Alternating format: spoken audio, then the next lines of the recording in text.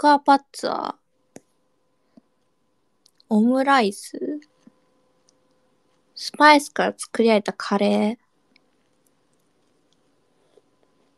うーん。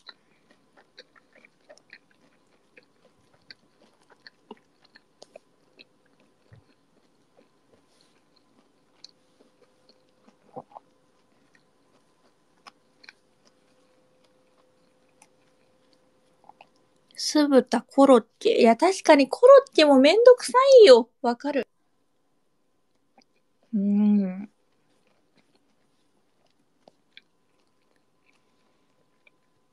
じゃがいも蒸して潰してね。ひき肉炒めて。合わせて。形作ってパン粉まぶしてね。そこからまた揚げなきゃいけないからね。うん。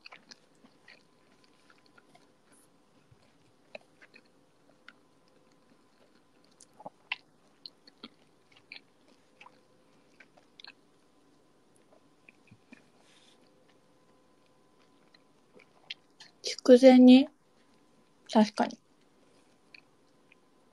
なんか一つ一つさ、食材にさ、食材別で下味とかさ、下処理しなきゃいけないやつってめんどくさいよね。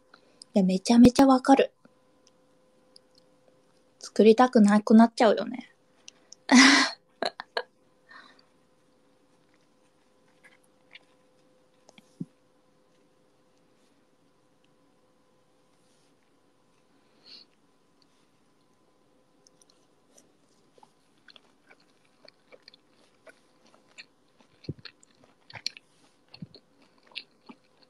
う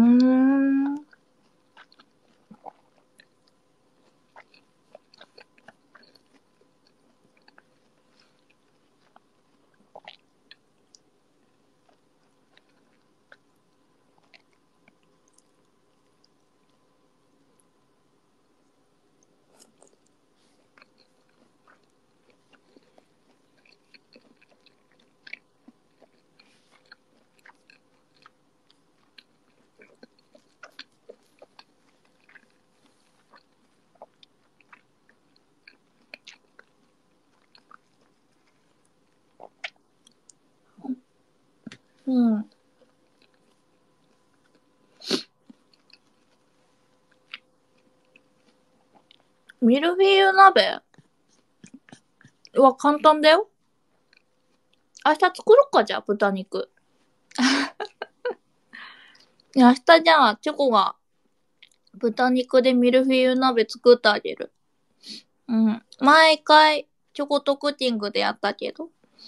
簡単だよ、あれは。挟んでただレンチンするだけ。うん。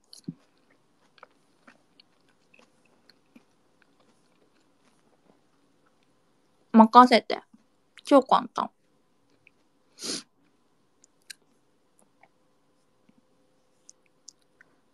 あ、天ぷらね。確かに。サクって揚げるのむずいよな。衣の硬さが大切よね。硬すぎてもまずいし、柔らかすぎてもべちょってなっちゃうし。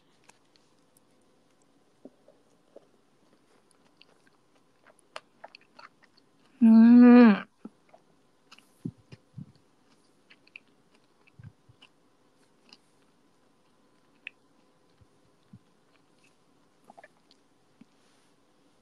なんか、ホイコーローか迷ってたんだよね。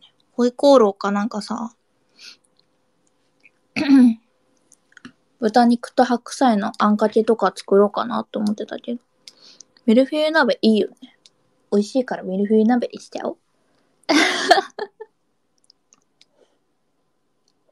う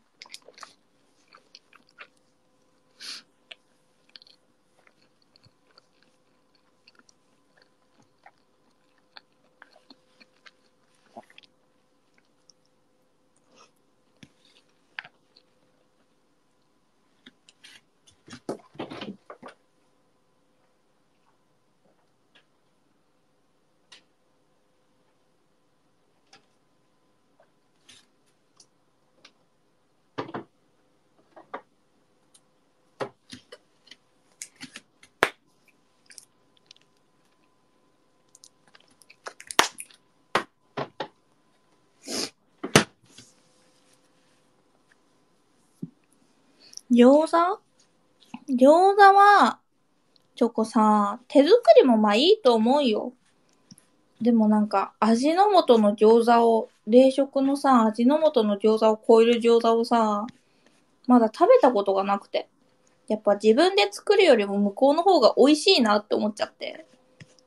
そう。うーん。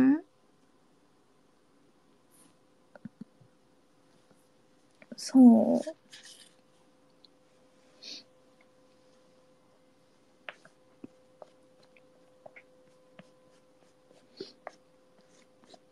むしろなんか味の素の餃子再現してみたいかもね。うーん。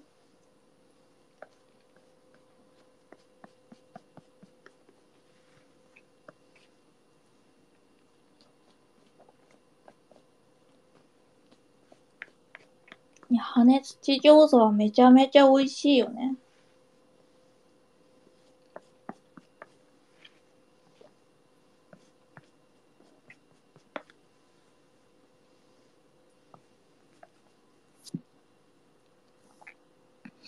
うん。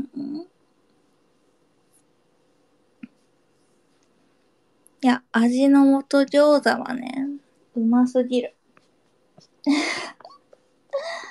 うん。いや、王将の餃子とかね、なんか、いろいろ中華屋さんの餃子も食べてみたんだけど、やっぱ味の素がしっくりくるのよな。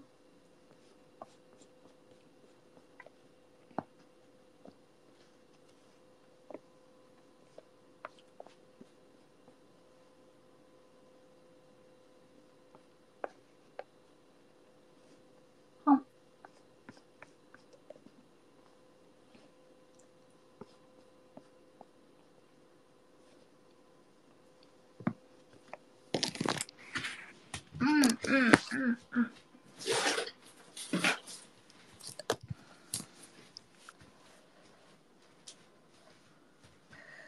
え、餃子はなんか自分で作ってもいいんだけど、あの、包むのもめちゃめちゃ楽しいの。ただ、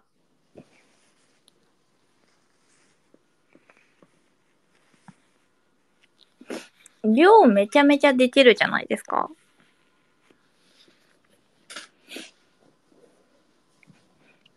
うーん。と一人暮らしだとちときついかな、みたいな感じなんですよね。うーん。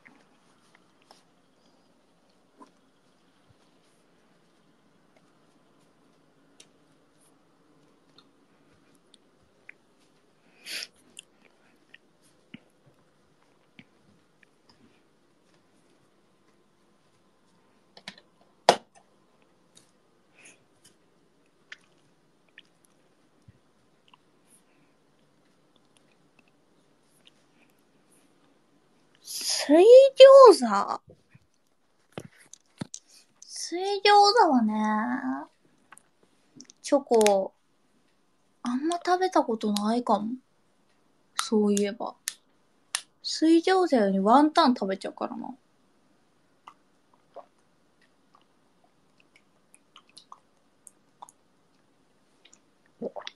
ああ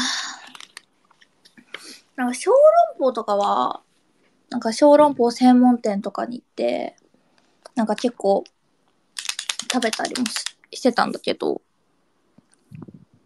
うん。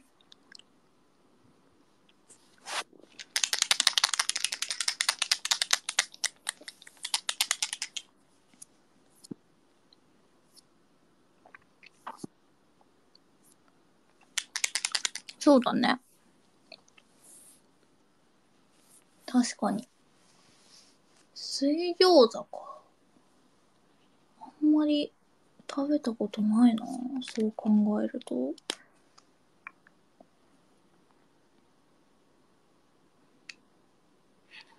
餃子ね。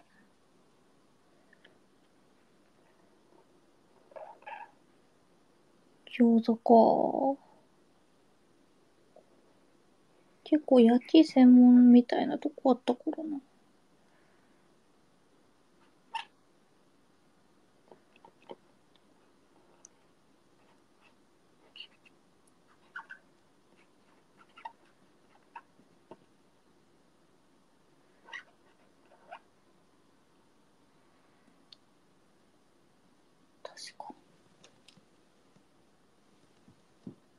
そう言われたら、そんなに食べたことないな。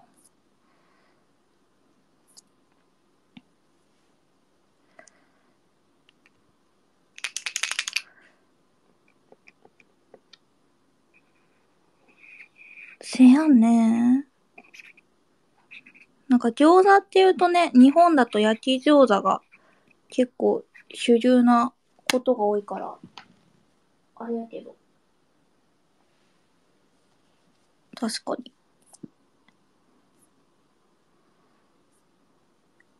あー、揚げ餃子ね。揚げ餃子も美味しいよね。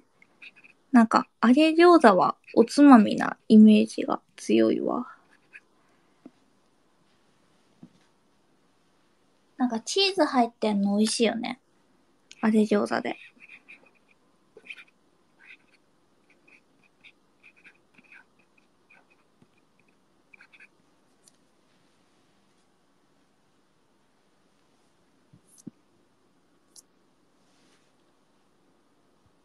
納豆餃子って何？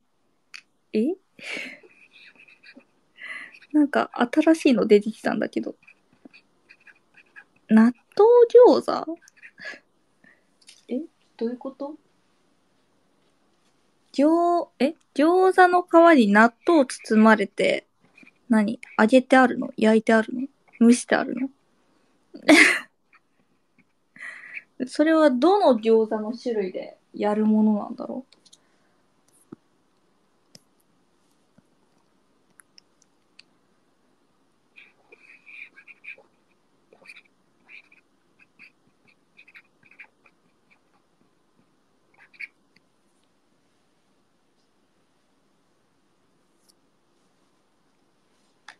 パワーワード来たね。納豆餃子。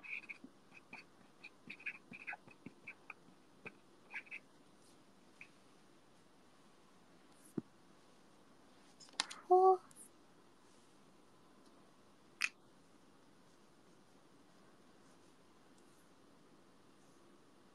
ああ、鶏皮餃子はね、食べたことある。美味しかった？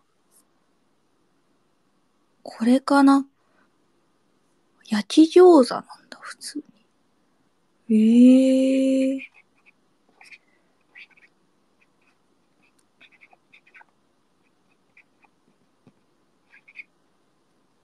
なるほどね。でも納豆チャーハンとかね、結構あるからね。はあ。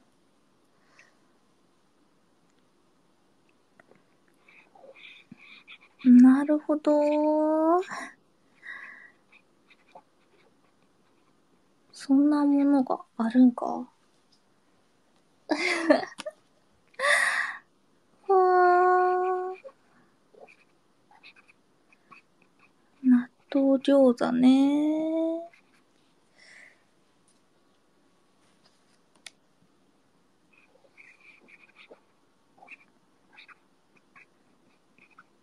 ゆずち最近、ゆずチョコ、最近のマイブームがリンゴ飴とかして、最近毎回リンゴ飴を3つぐらい頼んで食べちゃってるからな。なんか、最近の食生活が乱れに乱れてるよね。なんかリンゴ飴にハマったことにより、一食リンゴ飴になるの。まず。起きるやん。昼間やったらリンゴ飴買いに行けるやん。買いに行くやん。あの、リンゴ3つ分のリンゴ飴を買うんですよ。リンゴ飴3つって言うと、まん丸1個のリンゴ飴を切ってあって、まん丸1個で1つなの。切ってあるやつが。そう。それを3つ分買うよ。それを1食分として食べちゃうんだよ。で、あの、夜お腹空いて夜食を食べるっていう。あの、素晴らしく今ね、食生活が乱れてるんですよ、この悪魔。やっぱね、ハマるものができたらね、いけないと思う、ゆずきは。うーん。最近、リンゴ飴専門店というものがありまして、今みんなに布教してるんだけど。いや、めちゃめちゃハマって、チョコの周りの人に、なんかみんなにリンゴ飴専門店をおすすめしてるんだけど、そう。めちゃめちゃ美味しくて。うん。祭りのりんご飴はあんま好きじゃないんだけど、専門店のりんご飴はめちゃめちゃ美味しいっていう。最近のチョコのお気にですね。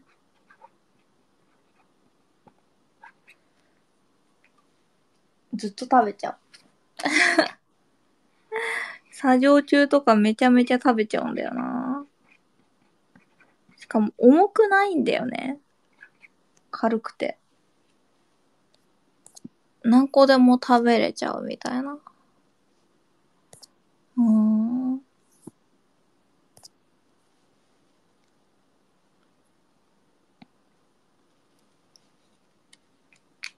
そうなんですよ。リンゴもめちゃめちゃ甘くて。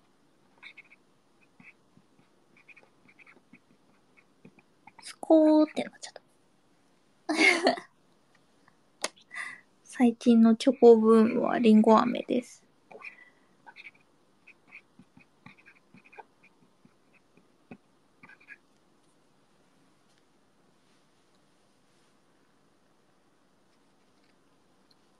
うん。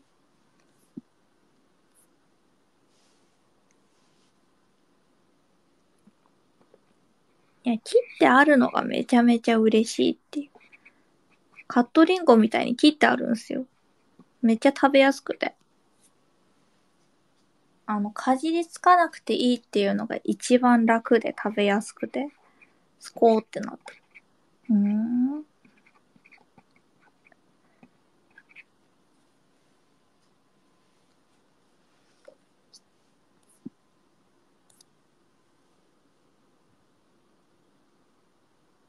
リンゴは医者いらずっていうくらい体には必要なものが揃ってるから大丈夫。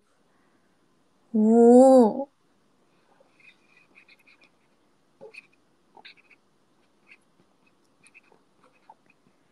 いや、なんか自分でさ、作れるっちゃ作れるけどさ、たった一個のためにさ、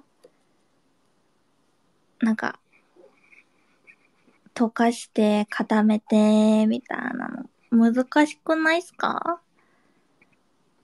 何よりチョコの冷凍庫が今固めるのに適してないっていう。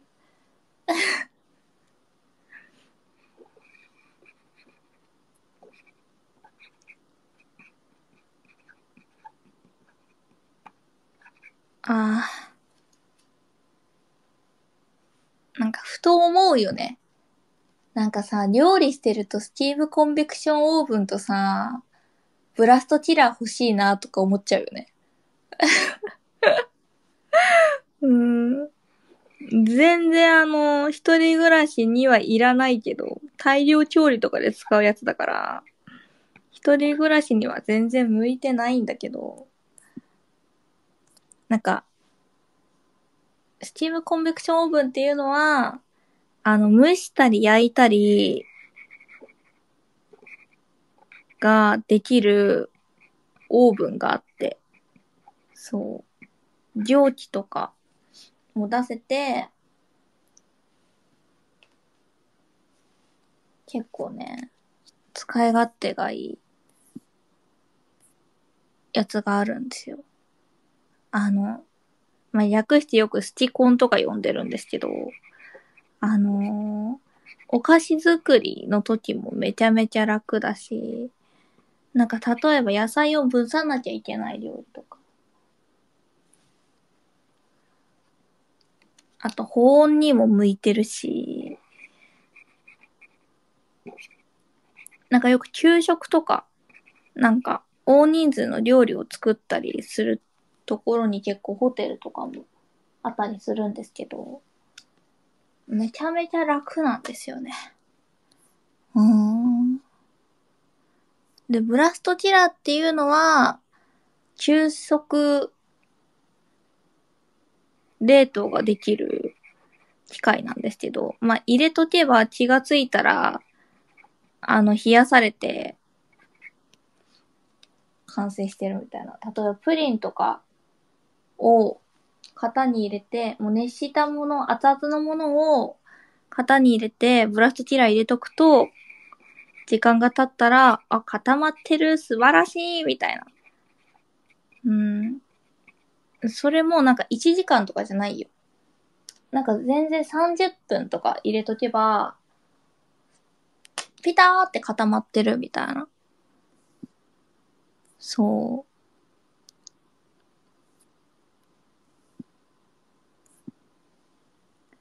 それとかなんか、サラダとか作りたいときに、野菜蒸しといて、熱々すぎるからちょっと冷ましたい時とかは、ブラストチラ入れとくと、いい感じに冷めてくれるっていう。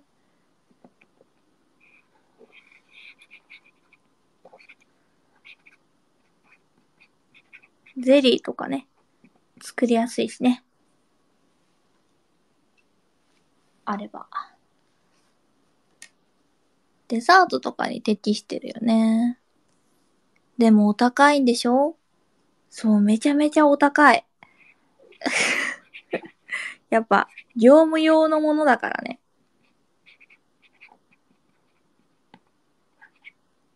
普通に買ったら普通に高いよ。うん。チョコ嘘言わない。高いです。めちゃめちゃ高いからチョコ買わないです。一人暮らしです。そのためだけになんか、なんかお店開くとかだったらね、全然、もう速攻揃えるんですけど、個人の楽しみでね、買うものじゃない？ましてやチョコ料理研究家でもないのに、買わなくてもいいレベル。うん。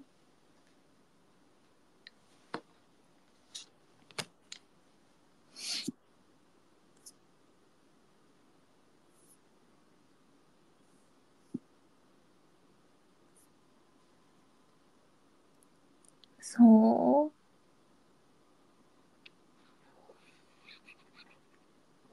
でも、当時、チョコガチで欲しくて。あの、スチームコンベクションオーブン、めちゃめちゃ便利すぎて。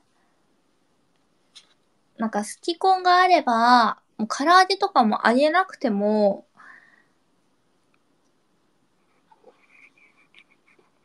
なんか、油塗って焼けば、もう唐揚げになるみたいな素晴らしい機械なんですよ。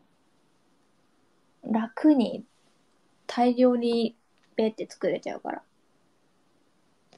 だから、チョコ、一回本気で買おうと思ったことがあって、ちっちゃいのないかなって調べたんすよ。そう。ただチョコ思い出したの。あの、スチコンって、あの、水道つなげるんすよ。やっぱ蒸気だから、なんか水を入れるとかじゃなくて、水道がも、つながってて、掃除するときとかも、それでやる、みたいな。やつで、工事が必要だと。賃貸の家じゃ無理だって思って諦めたんよね。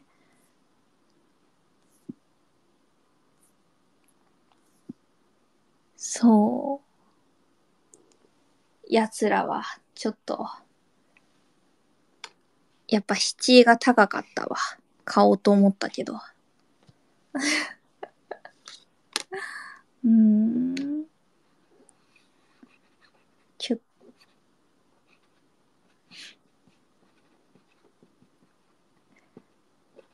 家にクッキングスタジオ作るとこならね、話は別だけどね。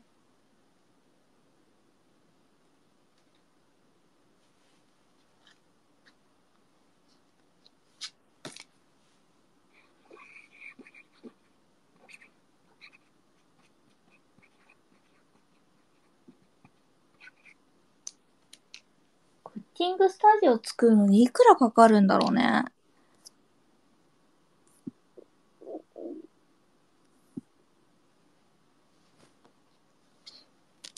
チョコがお金持ちになったら作ってみたいよね。家にクッキングスタジオ。そこで料理配信したいわ。うーん。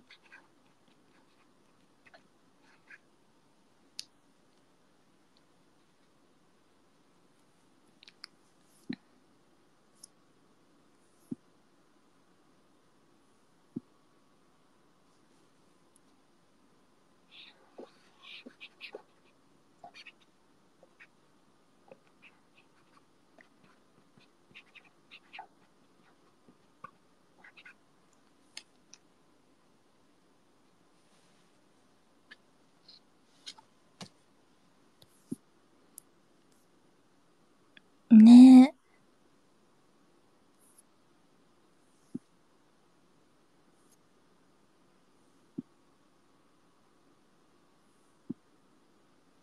ティコに似たような機能のついた家庭用レンジはある？あ、それね、チョコも見たことある。あれでしょ？あの、水をさ、下に入れてさ、蒸すみたいなやつでしょ？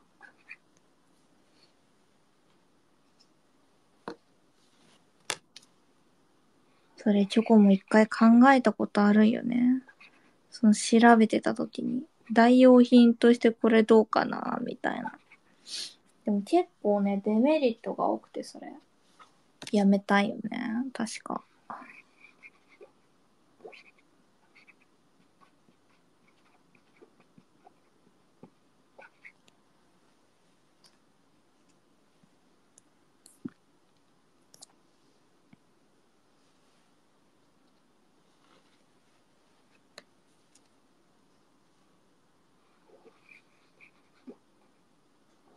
そういえばさ、チョコさ、こんだけ料理してるけど、あの、今まで一回もやったことがないことがあるんだけど、多分普通の一般家庭だったら、多分みんなはやったことあるんだろうけど、なんかチョコは、やったことがないことがあって、あの、皆さん、魚焼きグリル使ったことあります？あの、チョコはあの、家庭用のよく、あの、キッチンについてる魚用グリルを人生で一回もまだ使ったことがなくて。ちょっとお恥ずかしが、お恥ずかしながら、あの、チョコ、あの、人生で一回もまだそれで焼いたことがないんですよね。そう。なんか、お母様がそれを使ってサンマを焼いてるところは、見たことはあるのですが、あの、ゆずき家、いつも、あの、一人暮らしの時、毎回ついてるんですよ。魚用グリル。そう。でも、あの、使い方がわからなくて、今まで一回も使ったことがないんですよね。結構フライパンで済んじゃうからって思って、まだ一回も使ったことがなくて、そう。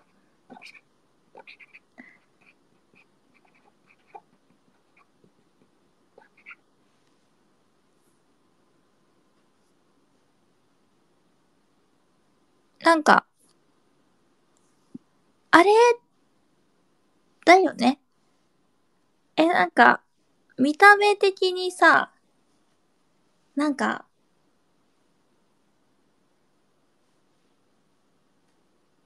し、下に、み、水入れてなんか焼くみたいな感じだよね。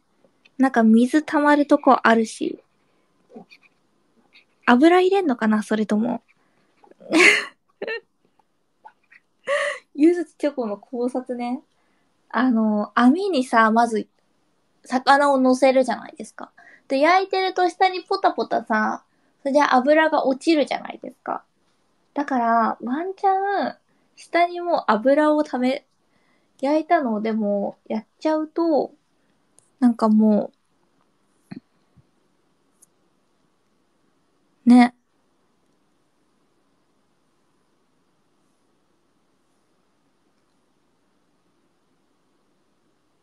油だけなんか、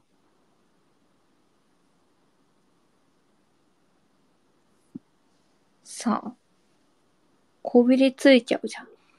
なんかそれは違う気がして。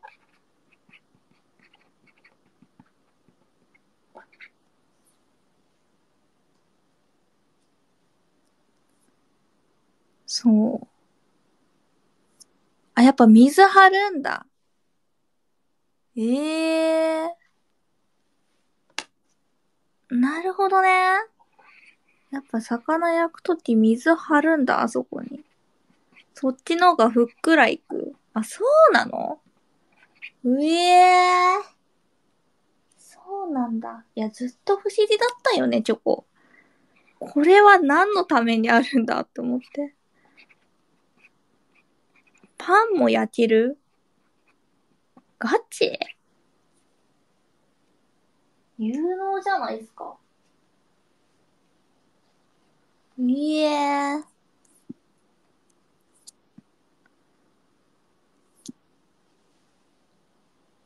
なるほどね。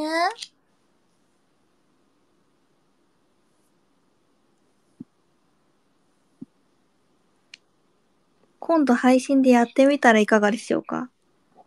え？ゆずちチョコ人生で初めて魚用グリルを使う配信？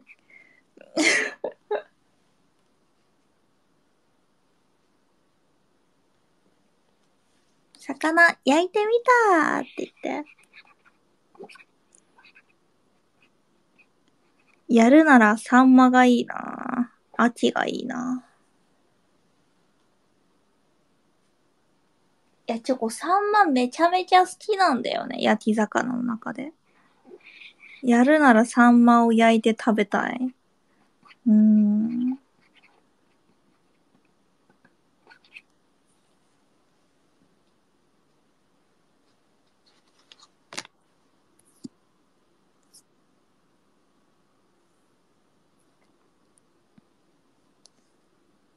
せやねん。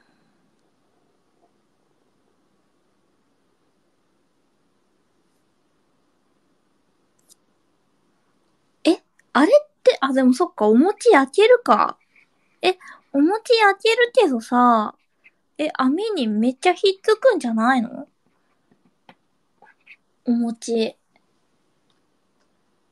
あの、チョコはさ、なんか普通のトースターでもさ、お餅焼くとさ、網にくっついちゃうじゃないですか。お餅が。だからチョコは結構レンジでお餅焼いちゃうこと多いんですけど。魚用グリル、いける？んでもいけるか。なほな？ちょくちょくひっくり返せば平気ですよ。なるほど。ええ。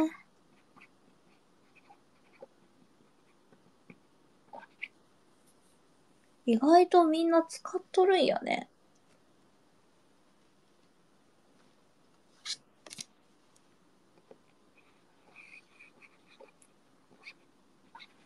チョコが使ってないだけで。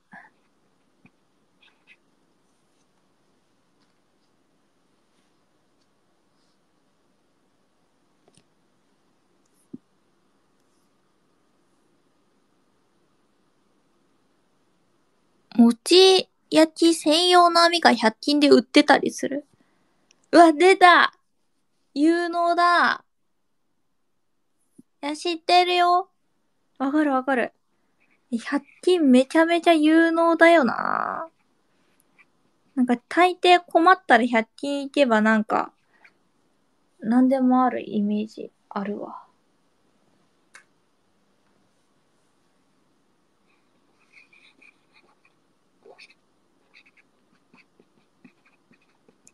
それはめちゃめちゃある。なんかやりたいなーって思った時に、いや、でもこれなーと思ったら、こういうのがあったらいいなーって思いながら100均行くと大概あるからね。うーん。お、これいいじゃん、みたいなやつ。100均の商品開発部見てみたいよね。どっからそんなアイデア来るのって思う。やばくない？100均便利グッズが多すぎてさ、なんか、買っちゃうよね。なんか、必要としてなくてもなんか見たら、あ、これいいなぁと思って。あのアイディアすごいよね。なんでそんな低コストで作れちゃうの？それみたいなやつもあるし。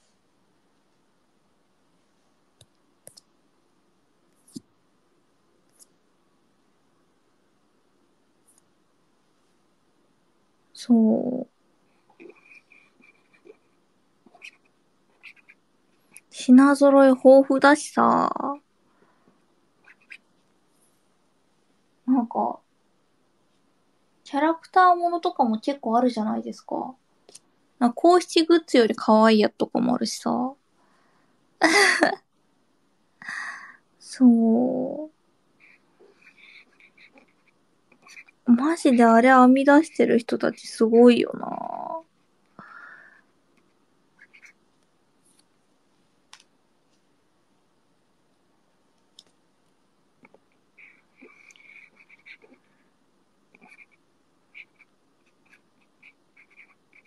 季節ごとでね、商品もちゃんと置いてるしね。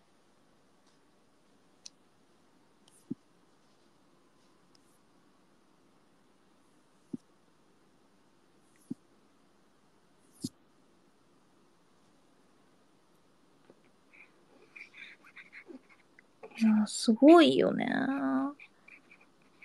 100均クオリティは素晴らしい。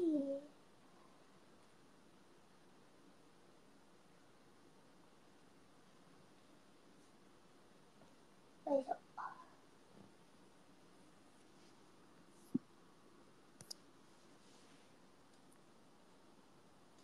ダイソーは毎月800個新商品を出している。800個？ガチ？やばすぎ。まあ、その分消えてく商品もあるんだろうけど。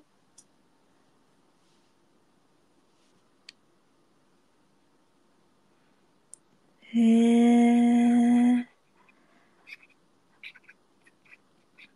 でもちょっと気になってんのがあって。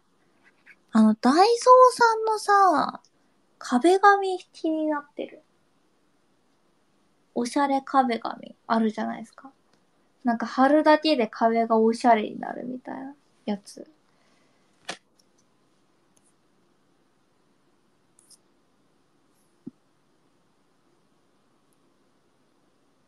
あれどうなんやろうと思って。部屋の雰囲気さ、柄って変わるけどさ、あの、引っ越すときに剥がすときあれ、ど、ど、ど、だ、大丈夫なんかな？壁みたいな。まあ、そこに6年住めばさ、まあ何も問題はないことだけどさ、わかる？そう、なんか日本の賃貸ってさ、6年住めば、なんか壁紙代は払わなくていいじゃないですか。なんか、賃貸契約の中で、6年間住み続ければ壁紙落書きしてようが何してようが、あの、修繕払わなくていいですよ。経年劣化になるから。そう。まあ、大概はね、2年契約でみんな2年で引っ越しちゃったりしてるから、特に。なかなかそういう例はないとは思うけど。うーん。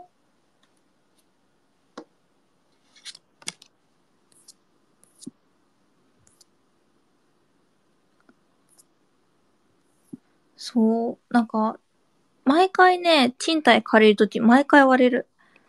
え、6年間住むと壁紙、落書きしても大丈夫なんで、日本は。みたいなまるで私がさ、なんか毎回ね、あのなんかチョコがさ、その不動産屋さん行くやん。その時にね、なんかその賃貸契約する時に言われんだよね。いや、6年間住めば壁紙は落書きしても大丈夫なんで、みたいな。まるでチョコがさ、なんか、壁に落書きしそうな人みたいな感じで言うよ、毎回。え？みたいな。そう。え？なんすか？チョコ、チョコそんな壁紙に落書きする女だと思ってるんすか？と思って。うーん。めっちゃそれドヤ顔で言われるからね、毎回。そう、毎回説明されんだよね、それを。いや、もう知っとるわと思って。うーん。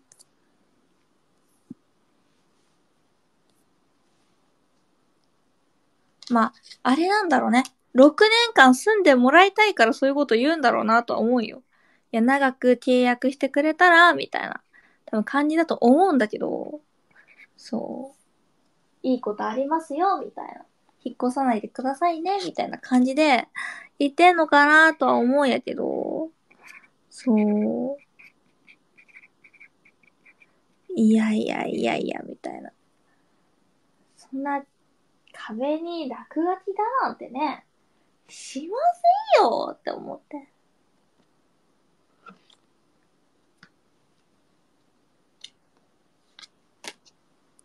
まあなんか子供いる家とかだったらね、わかるけど。うーん。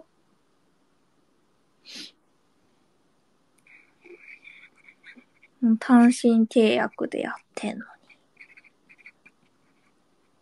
に。チョコがなんか、なんか、何キャンパスに絵を描く仕事をしてると思ってんのか、こいつはって毎回思う。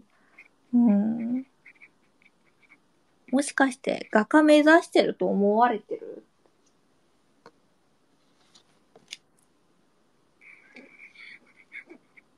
謎よな。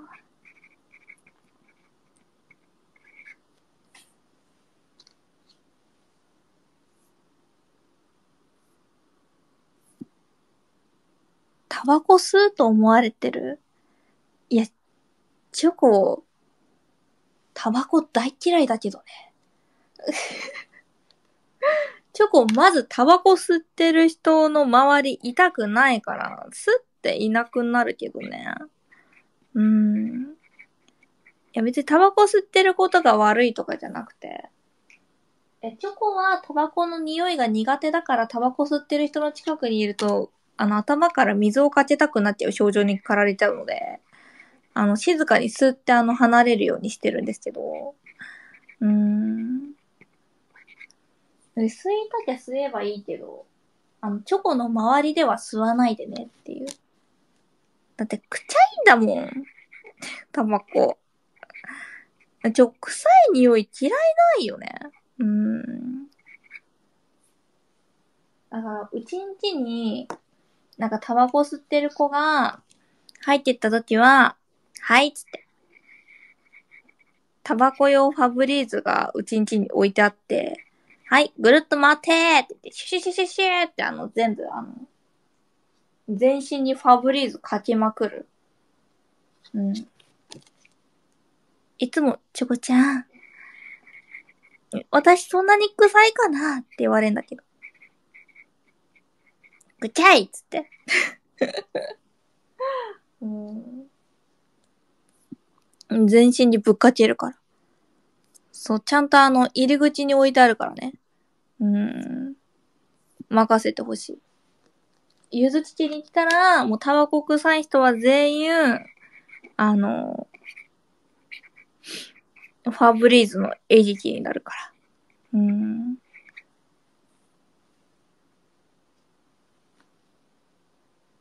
任せてほしい。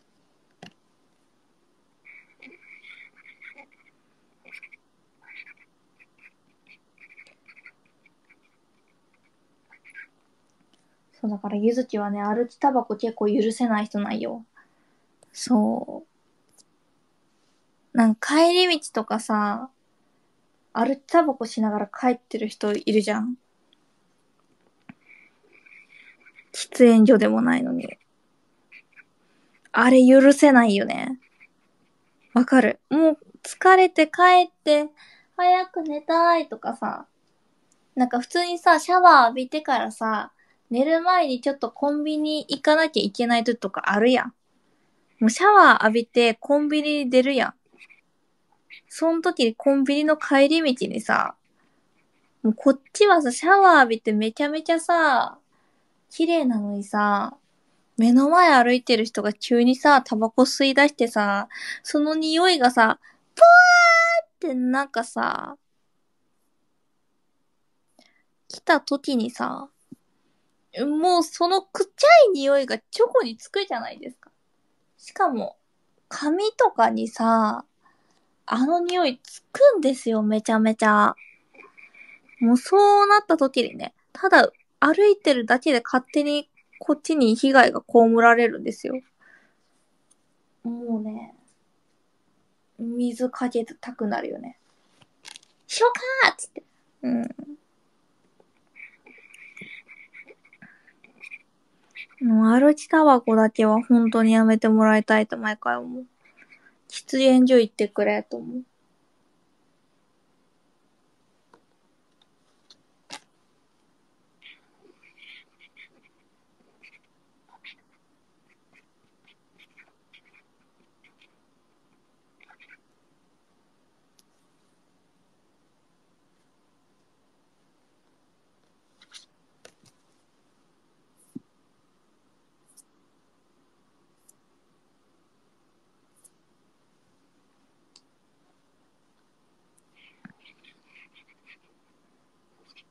歩きタバコをしているやつは、チョコが上から水をかけてやります。だだだ大統領になったらね、いつか君を。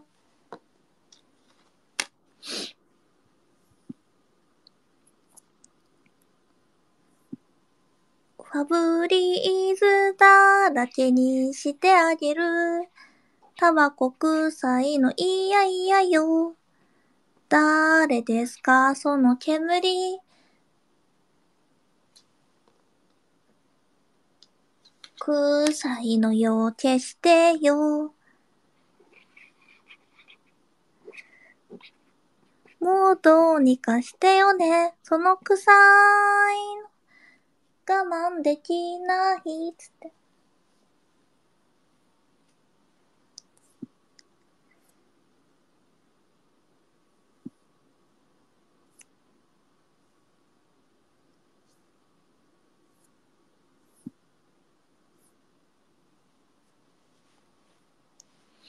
スモーカー大佐。ああ、ワンピースの？いや、あれはハマキやん。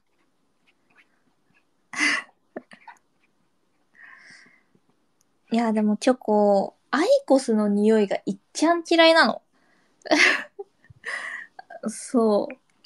あの、え、いろいろあるじゃないですか。区分が。タバコはタバコでも。なんか支流のまだ、セブンスターとかそこら辺の方が、まだよ。まだ許容範囲。もうアイコスはね、ダメ いっちゃ許せない。うん、あの臭さ。うん。ゆずきにとってアイコスは敵やから。うん。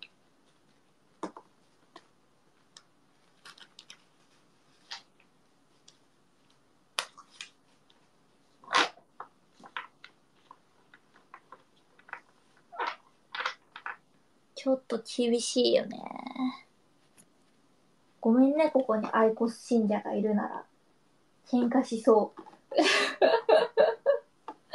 う。うん。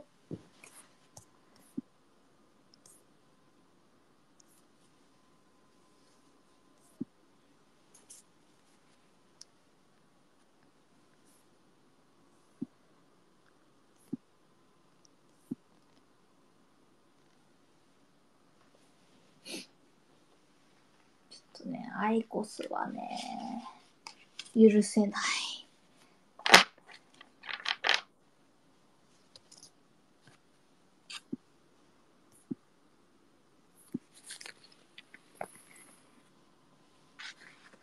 ちょっとね、なんだろうね。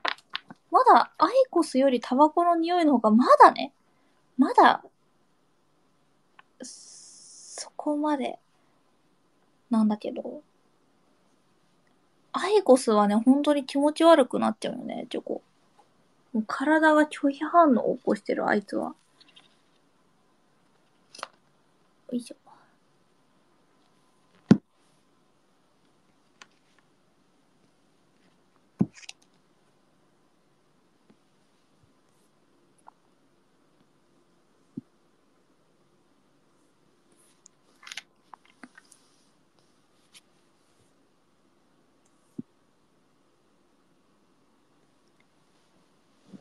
よいしょ。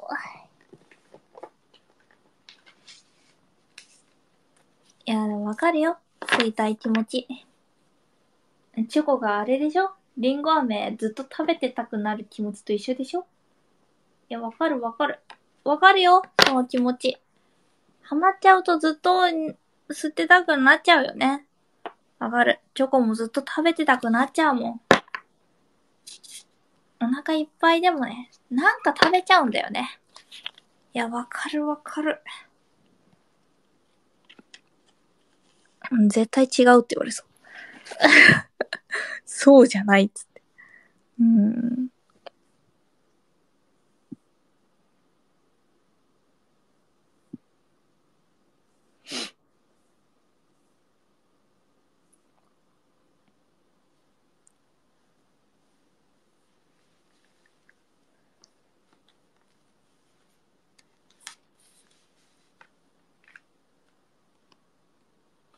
いや、なんかチョコさ、なんだろう。子供の頃はさ、なんかタバコ吸ってるさ、なんか、絵面がさ、かっこいいなって思ったことはあったんよ。小さい頃に。なんか、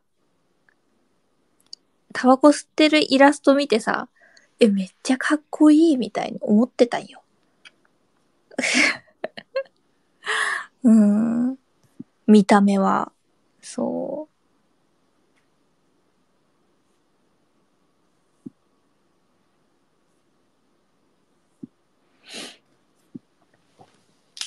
いや、タバコ加えてさ、なんか、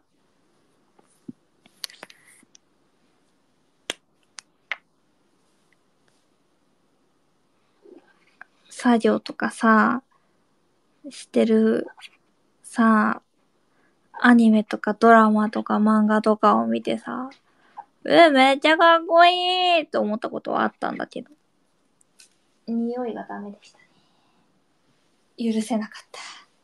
あの匂いだけは。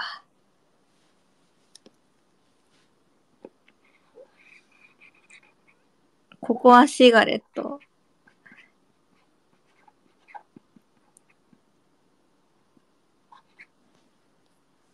な小学生ぐらいのさ、男の子がさ、コンビニ前でさ、ヤンキー座りしてさ、ココアシガレット加えてさ、なんか、あ、やんのかてめえとか言ってる場面微笑ましいよね。うーん。本物のタバコは買えないから、ココアシガレット買って、なんだおめえとか言ってんの見たら多分、あの、めっちゃニコニコしちゃうかも。うーん。かわいいなーって。うーん。なりそう。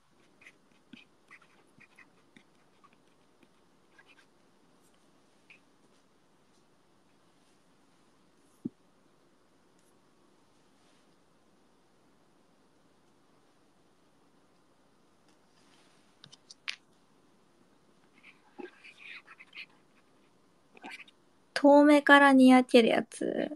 いや、マジでそれ。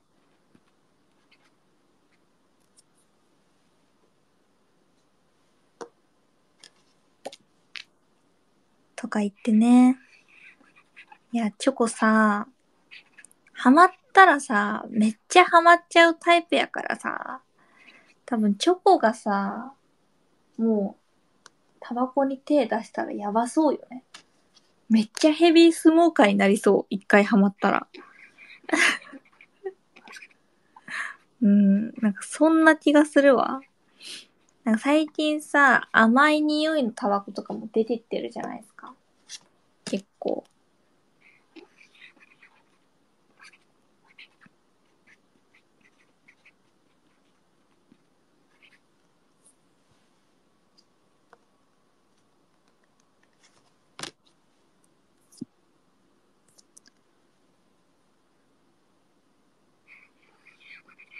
ハマったらやばそうって思って怖いよね。絶対手出さない。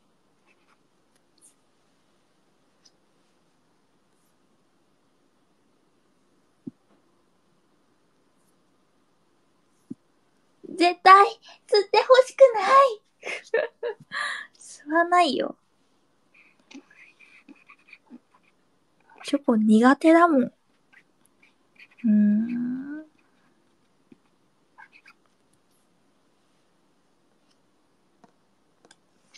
でもなんか一時さ、なんかその、なんていうの、電子タバコでさ、そのビタミンが取れるみたいなタバコあったやん。なんかそう言われてたやつ。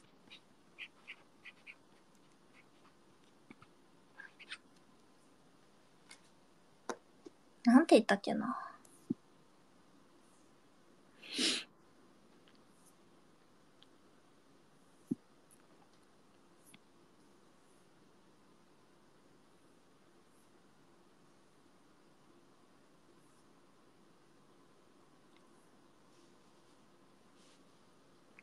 チョコの匂いがするタバコもある。あ、それ知ってる。友達が吸ってたわ。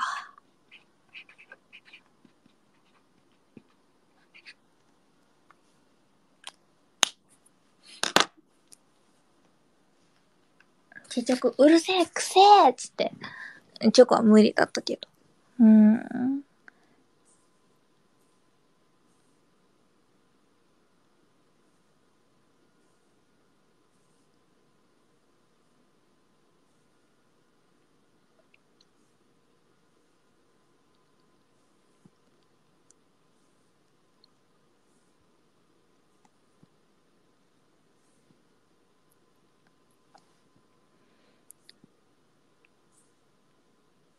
そう、でもなんか友達がその禁煙のために、あ、それ吸ってたんだけど、結局なんか、物足りないって言って禁煙できてなかったね。うーん。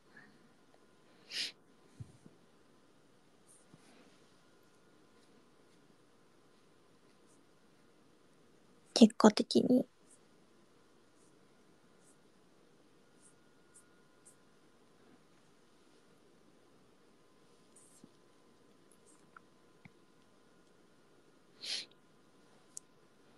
コ先生の匂いがするタバコなら吸いたい？いや、ないよ。そんなタバコ。チョコのこのいい匂いをね、タバコなんかの草でね、詰め込めるわけがないのよ。うーん。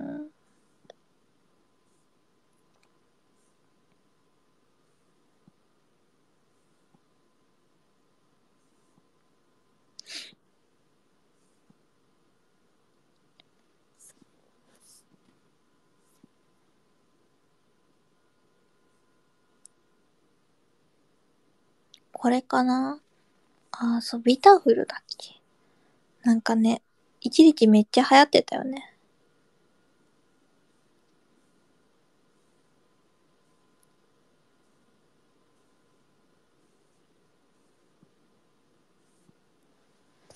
いって。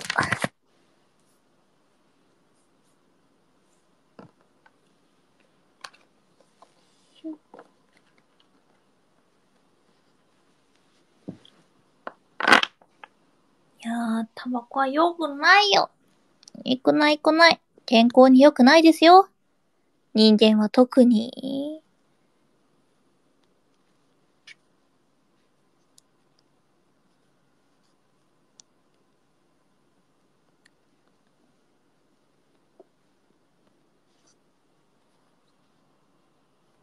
あくまでもね、支障をきたすのに。か弱い人間なんて特によ。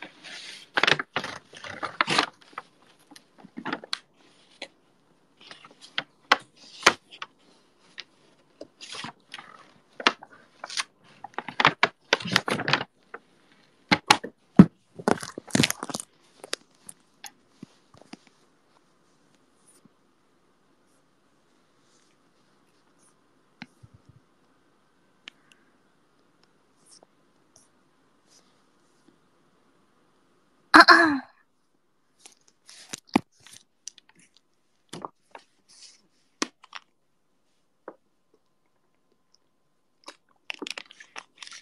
んかそれよりもさ、あ、チョコ思うんやけんさ、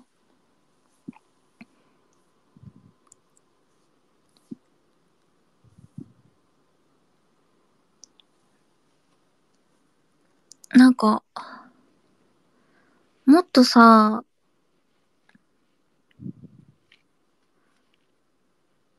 よいしょ。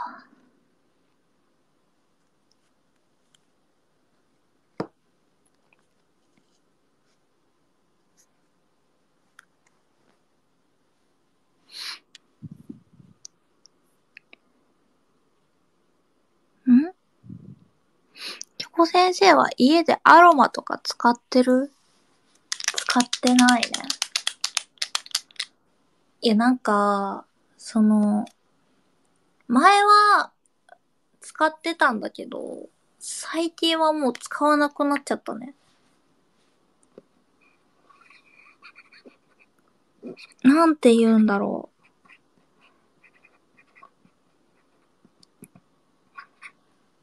う。なんか、前までは、その家のフレグランスとかさ、結構使ってたんやけど、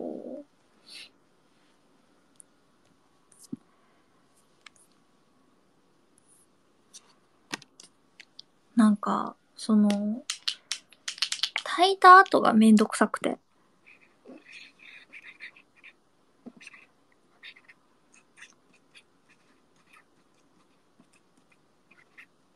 あとなんか加湿器にさ、アロマ加湿器みたいな感じでさ、あの、そのアロマの原液を2、3滴垂らして、あとお水入れてやるみたいな。で、いい匂いがして、加湿器プラス部屋のアロマになりますよ、みたいなやつを使ってたんだけど、あのー、ちょっとあの、買い足しがめんどくさくて。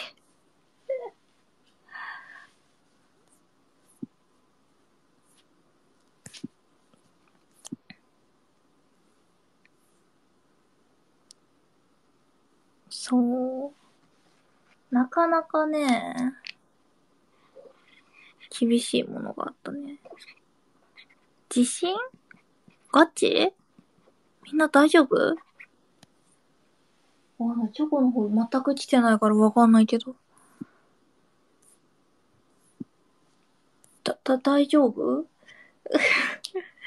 地震来てるね、地域の方はちょっと、逃げる準備してもろって。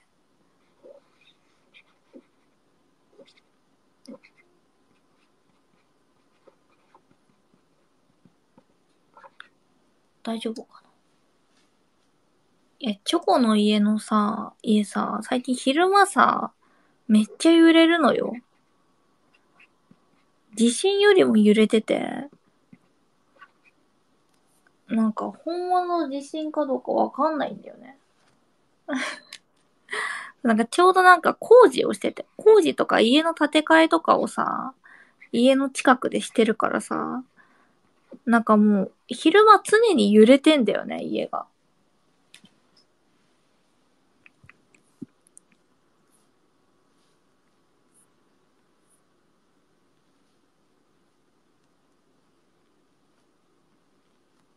だからなんか結構その、本物の地震かマジでわかんなくて、昼間もし地震来たら。そう。そのレベルでめちゃめちゃ揺れてるよね。うん。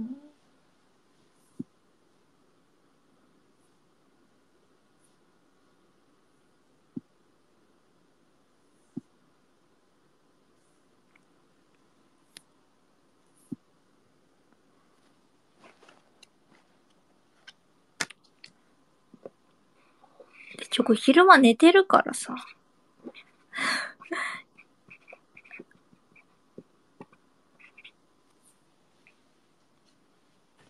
結構慣れちゃった説あるよね。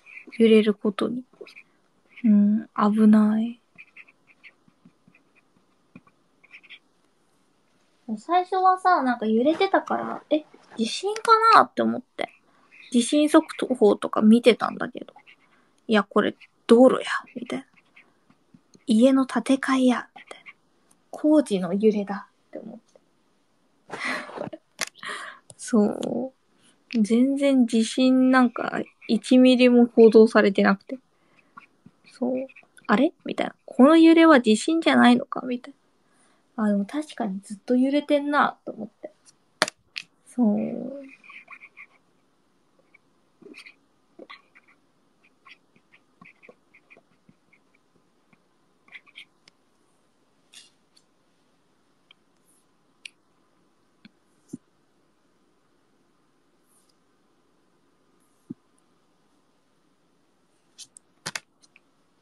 いや、多分ね、チョコね、地震で揺れてもね、起きれない地震しかないんだよね。うん。結構ガチめに。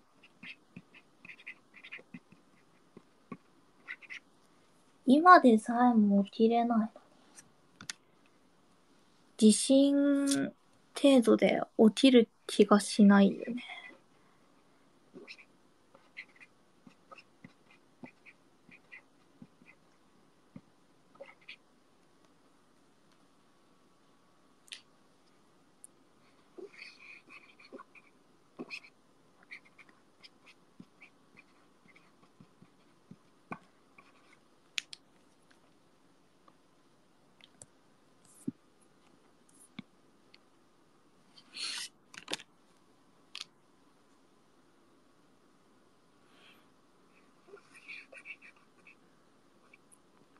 地震が起きたらパニックにならんよりとりあえず震度当てるゲームしてる。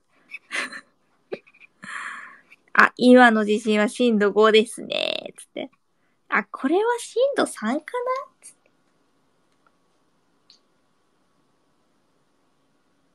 ゆずちはね、地震が来たらまず、やべえつって、パソコンを落とさなければいけないって言ってパソコンに走るね。うん。今までのデータは消してはならんっつって。うん。そう。パソコン命だからね。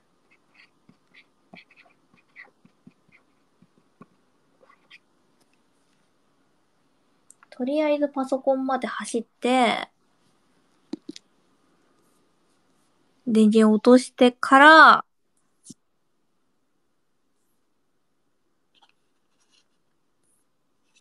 考える。うん。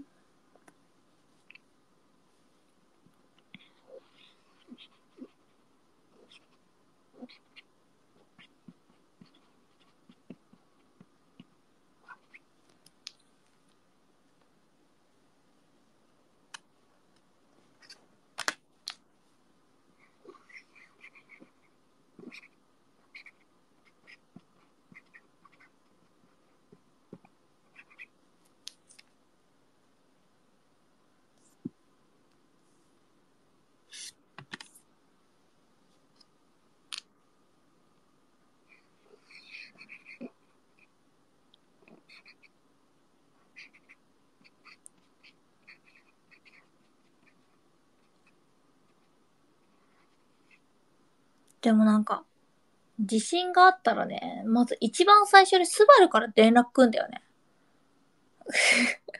毎回そう。スバルが、やべえ地震だーって来る。うん。うん。大体そう。うん。なんか最近地震起きると速攻スバルから連絡来る。うん。そこでなんか、あ、地震あったんだって知るんよね。うん。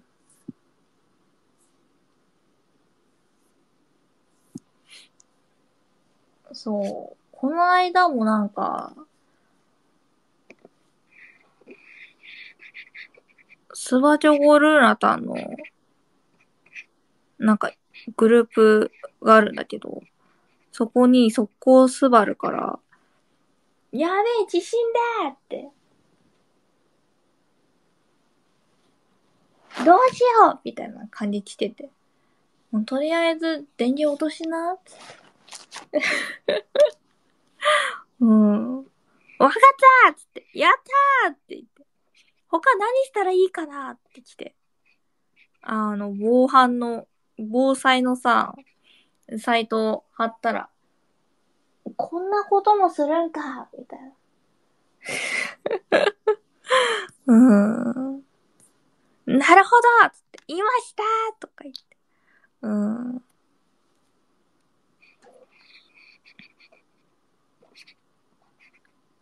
とりあえずガスは切ったつって、なんかやってた。うん。なんか言われたことを忠実に守ってた。マジでスバルは。うん。今やったあとはなんかあるつって。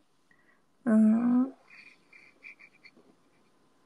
素直だなーって思いながら、チョコは、これ、これって言ってて。そう。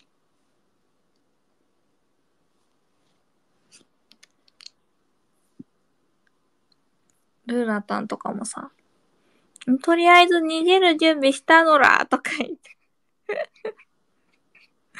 うん。リュックしょったのらとか言ってて。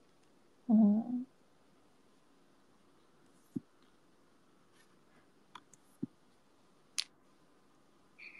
偉いねーつって。うん。あ、チョコはその時普通にベッドでゴロゴロしてたけど。うん。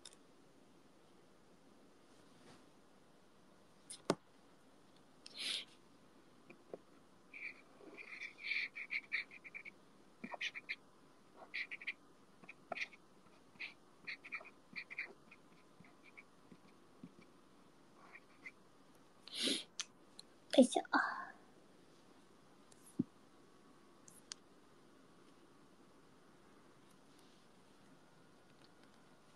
リュックってランドセルではスバルにランドセル買ってあげよっか。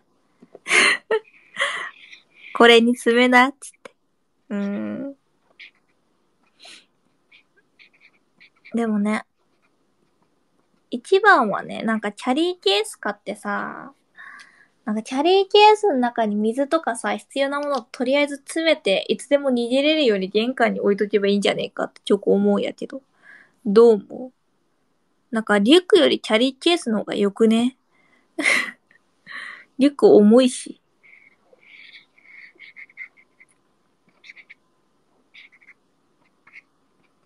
キャリーケースの方がいっぱい入りそうな気するわ。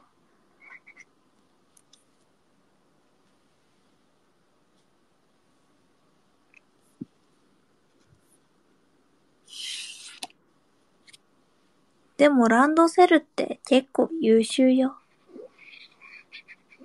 いや、それは身をもって体験してる。いや、チョコさ、あの、小学生の頃さ、全部さ、置き弁だったんですよ。あの、教科書全部持って帰らずに、あの、ロッカーの中にすべてしまっておくっていう。そう。もう机の中に全部、全教科の、その教科書とノートを置いてって、みたいな。いつも、その、帰るとき、宿題出されたやつだけ持って帰って、あとは全部置いてくみたいな。置き弁派だったんすけど。そう、なんか他のみんなは毎日、その、持って帰って、明日はこの教科があるからって言って、教科書を毎朝ね、ちゃんと、あの、チェックして、この教科があるからね、はい、つって。みんな持ってくるのが普通だと思うんだけど、ちょっとゆずきはね、ちょっと、重たいもの持つのが嫌すぎて、置き弁派だったんですけど、なんか、ただ、置き弁をしてて何がいけないかっていうと、夏休み前とか、長期休み前に、あの全部持って帰らなきゃいけないじゃないですか、あれ。チェックされて先生に。なんか、そん時に、一気に持って帰らなくてはいけないんですよ。置いてるものひどかったよ。そん時は。もう、ランドセルにこれでもかっていうぐらい辞典とか、あの、教科書とかを詰め込んで、もうパンパンになって、壊れるんじゃないかって思いながらチョコはね、ずっと持って帰ってたんだけど、そう。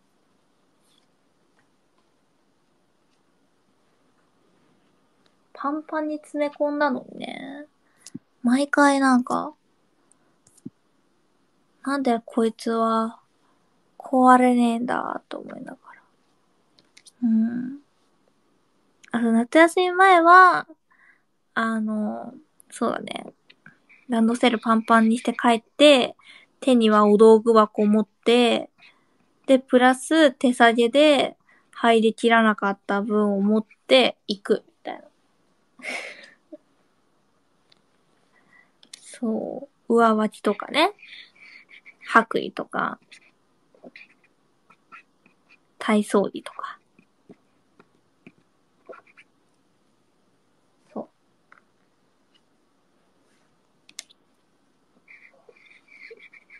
そういう時にね、ああ、もっと計画的にやればよかったなーって後悔するやけど。そう。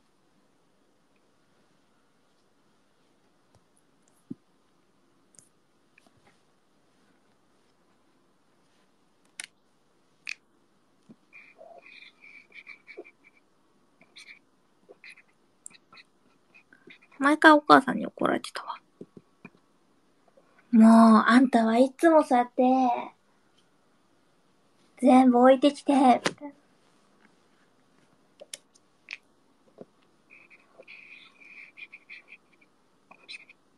なんで毎日持って帰ってこないの？って言ってめっちゃ怒られてたイメージあるわ。うん。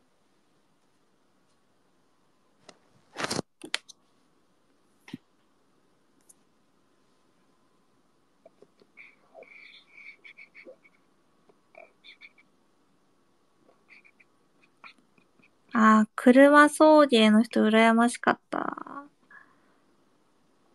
あーね車ね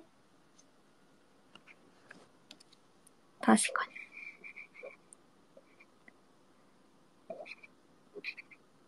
あと、家が目の前とかね。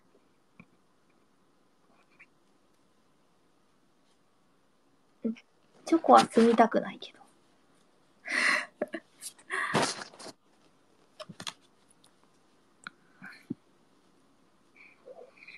でも家目の前だったらさ、結構サボれそうだよね。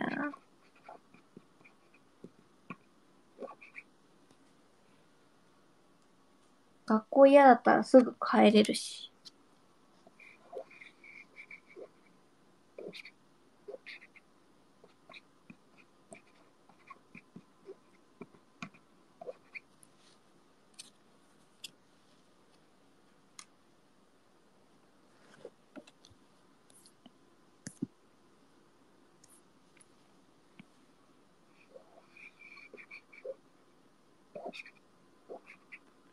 でもチョコさ、小学生の頃に、なんか昼休みに、友達と喧嘩して、何で喧嘩したか覚えてないんだけど、なんかめちゃめちゃその時、学校にいるのがめっちゃ嫌になっちゃって。あの、昼休み中に、あの、荷物も持って帰んないで、なんかそのまま、あの、家に帰って、で、その時に、あの、普通に共働きで、家に誰もいなくて。チョコが帰ったことを、誰も知らないし、なんならでもランドセルとか全部、あの、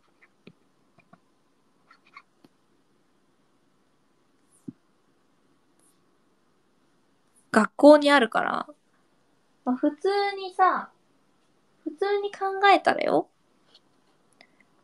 あ、チョコちゃん、怒って、どっか行っちゃったのかなみたいな。でもまさかみんなさ、家に帰ってるとは思わないじゃないですか。いや、ランドセルもあるし、まさか家に帰ったなんて、みたいな。誰にも言わずに家に帰ったなんて誰も思わなくて。そう。なんか、昼休み終わってもチョコが戻ってこなかったんよ。もう家に帰っちゃったから。で、それが、なんか、先生にバレて、でも先生もまさか家に帰ってるとは思ってなかったから、なんか先生が探し出しちゃって。で、学校からね、家に電話がかかってくるわけですよ。ゆずちチョコがいないと。いなくなっちゃったと。そう。で、家電話かかってくるじゃん。家にチョコいるじゃん。電話出るじゃん、チョコが。そこで、え？ってなるじゃん。なんでお前家にいるんだってなるじゃん。うん。もう先生は大慌てよ。探しても見当たらなくて、みたいな。あ、どうも、みたいな。そう。普通にチョコ出たからね。うん。電話に。はい、みたいな。はい、ゆずちです、つって。で、最初、あの、チョコをお姉ちゃんだと思って。先生が話すわけよ。すいません、みたいな。え、チョコさんがいなくなってしまって、みたいな。ちょっと学校で、ちょっと進化があったらしく、みたいな。私の状況、把握ミスで申し訳ございません、みたいな。今捜索をしていて、みたいな。そう。で、その時チョコ何を言ってんだと思って。なんで本人と話してんの？に、チョコさんがって言ってんだろうって思って。超のんきに考えてたわけよ。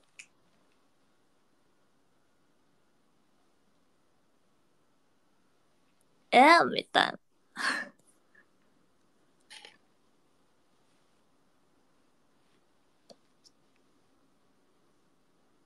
何言ってんですか、先生つって。チョコですけど、つってや。えー、って言われて。何やってんだっつって、なんかめっちゃ怒られて。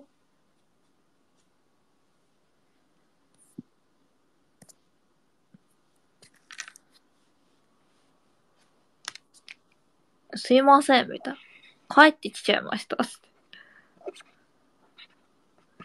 そう。その後、こってり怒られました、ゆずき。うーん。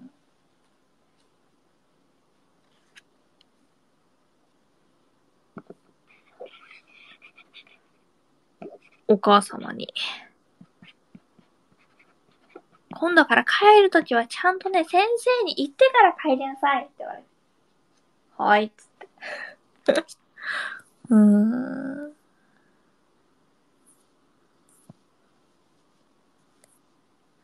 まあでも、確かなんかその喧嘩、チョコが悪くなかったんだよね。それで、その、チョコがなんで帰ったかっていうことの喧嘩の発端を、なんか、先生が、双方に聞いて、結局その女の子に謝られたんだけど、チョコは。な、なんでチョコがあんな怒って帰ったのか、ちょっとあんまり覚えてないんだけど。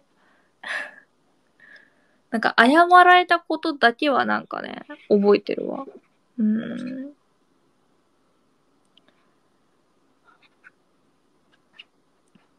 多分その子まさか帰ると思ってなかったんだろうね。いなくなると思ってなかったから、めっちゃなんか泣きながら謝られたわ。うん。あ、この子も怒られたんだろうなーって思ってたけど。うん。今日は騙してない。勝手に向こうがなんか勘違いして話してたんよ。うん。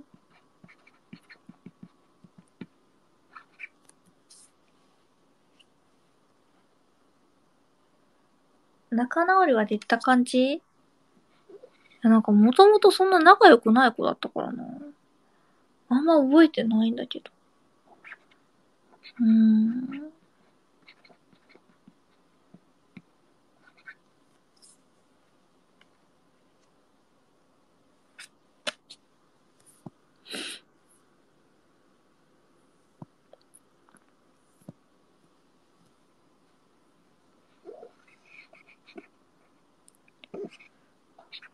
逆にチョコ長いこと喧嘩することあんまないんだよね。え、なんか、チョコ長い子ってか好きになった人にはさ、激甘なんだよね。なんか怒るふってなくて。なんか、理不尽だろうみたいなことされても、まあ、しょうがないよね、みたいな。いいよいいよ、みたいになっちゃうから。そう。うん、なんか嫌いな人にされたらね、そりゃ、は？みたいになるけど。で、チョコが好きな人にはね、何にもなんないんだよね、特に。うん、何されても。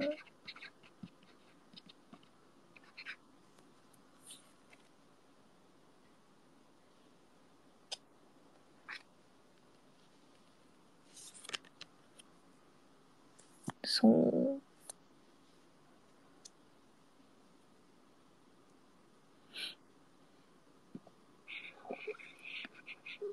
てかなんか小学生の時はね、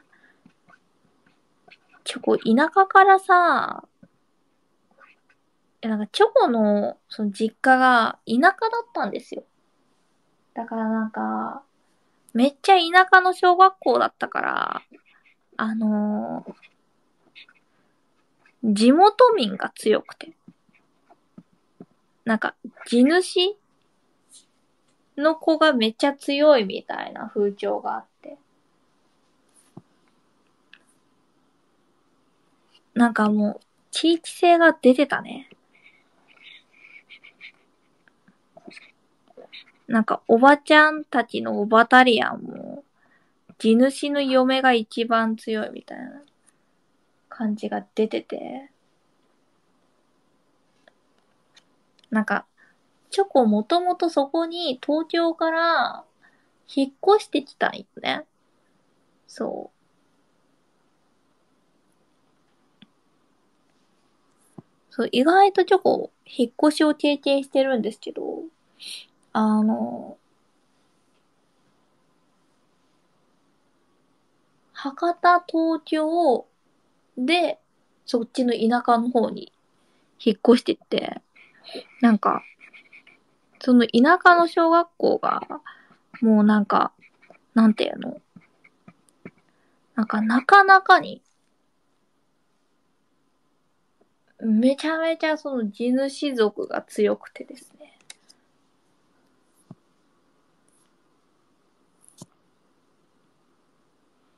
なんて言うんやろ？なんか、とりあえず、子も親もめんどくさいみたいな。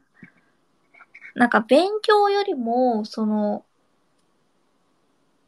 和を重視するところだったんよね。そう。なんか勉強ができればいいじゃなくて。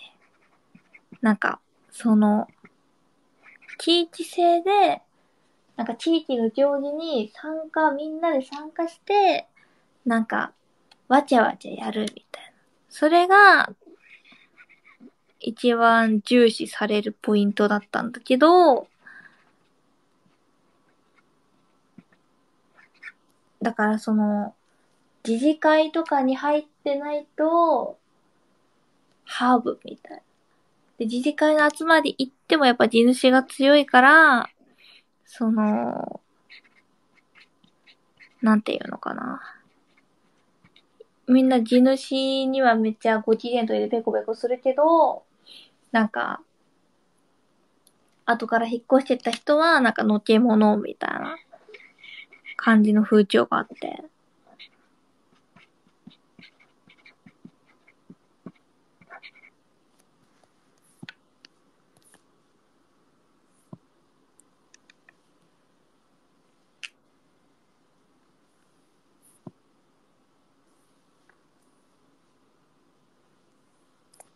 そう、なんかチョコ的にそれめちゃめちゃ嫌いで。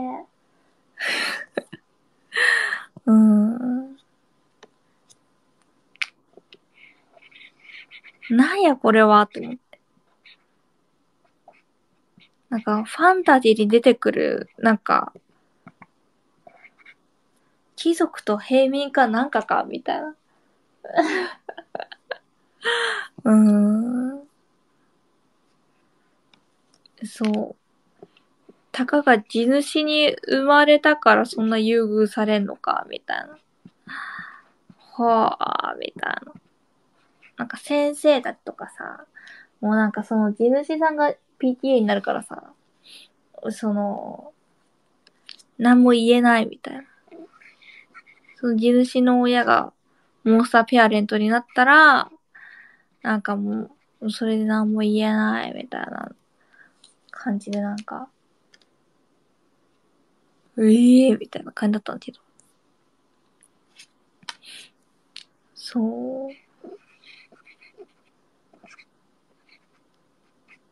で、その地主の子供もさ、なんか、結構、その、なんて言うんだろう。気が強い子が多くて。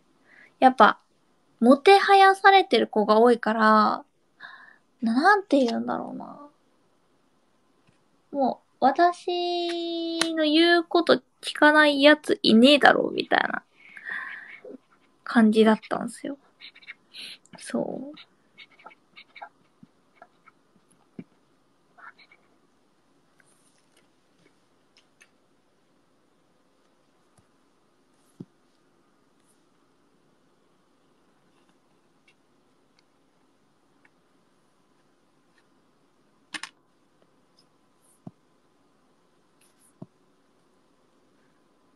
なんか田舎はね、やっぱそういう横つながりが強いなーっていう印象あるわ。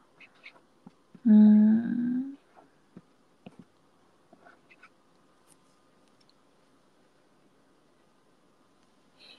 なんか田舎暮らしいいなとは思うけど、なんかそういう点においては嫌だなって思うよね。だから、こっちのさ、都会に来てさ、マジでそういう近所付き合いとかないじゃん。それがめちゃめちゃチョコにとっては、なんて楽な世界なんだろうって思って。めっちゃ好き。なんかさ、こっちの方ってさ、なんか特に近所付き合いしましょうとかじゃないじゃん、結構。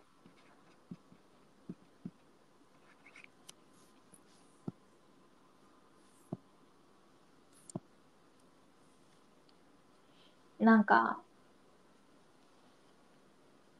近所付き合いしましょうよりは、なんかもう個々に、社宅に住んでる人はまあ近所付き合いあるけど、みたいな感じやん。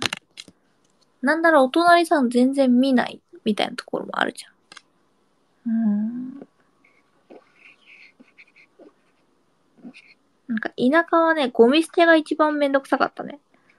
うーん。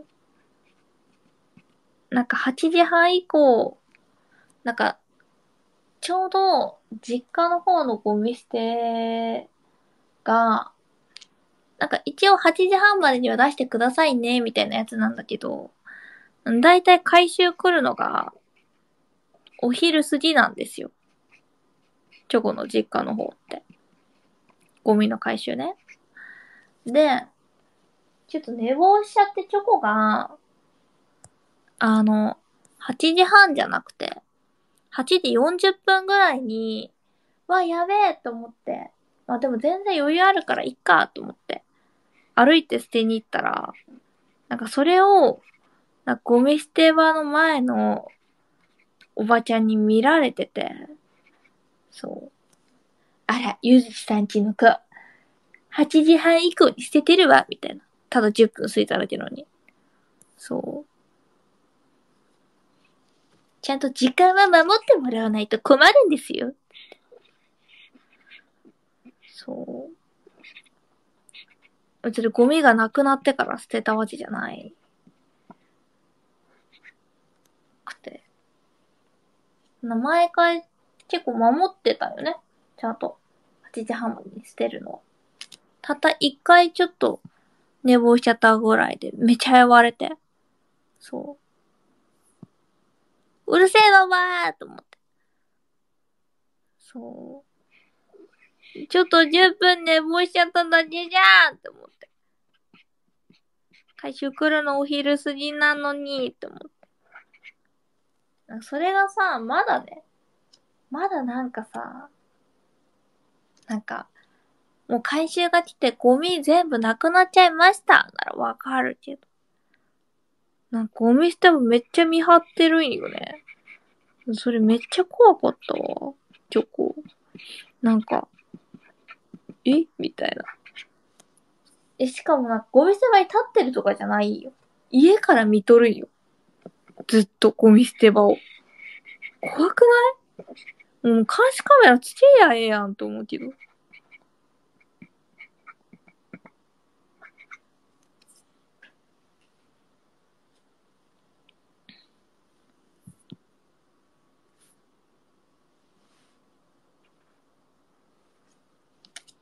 そう。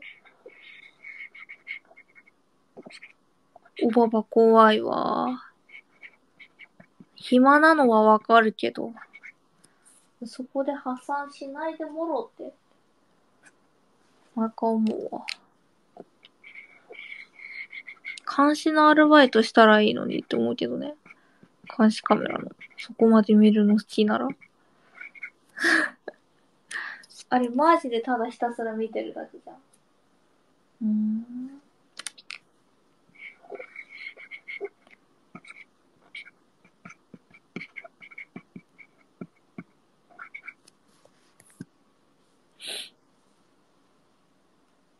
うわーって思って。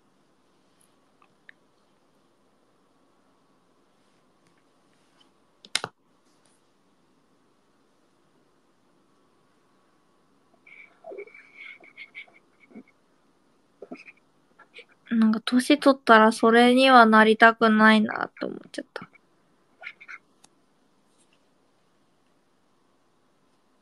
多分、チョコの場合は、ゴミ捨て場見張るよりも、多分二度寝の方が勝っちゃうなって思うんやけど。いや、ある意味すごいと思うんだよね。ただただゴミ捨て場を見張るって。チョコ寝ちゃうよ、眠たくて。うーん。きついものあるよな。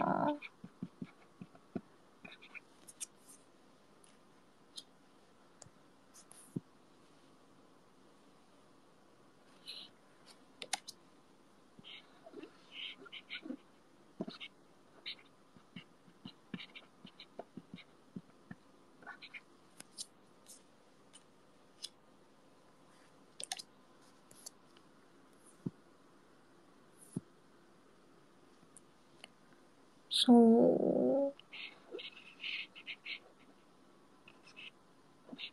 でもゴミ漁る人が一番怖いよね。って思わん？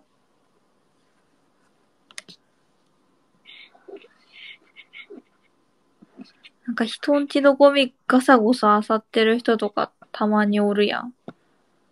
ちょっと怖いなと思っちゃうよね。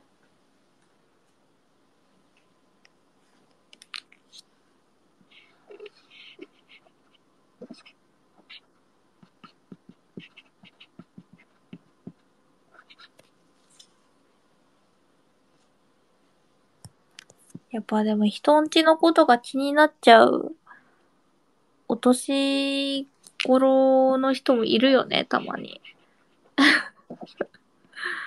うーん。ちょっとチョコには理解しがたいけど。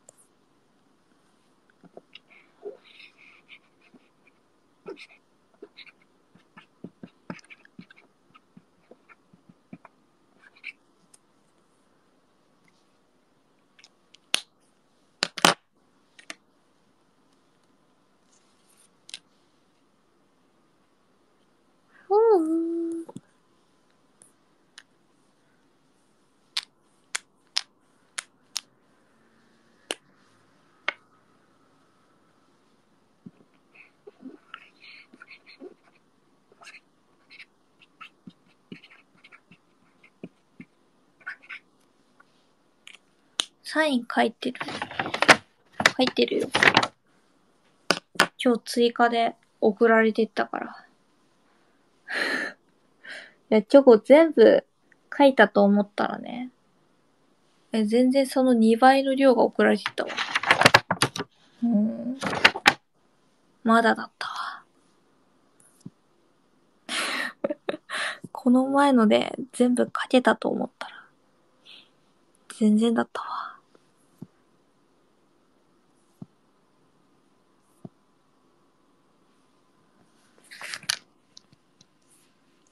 あ、冊子ってなっちゃった。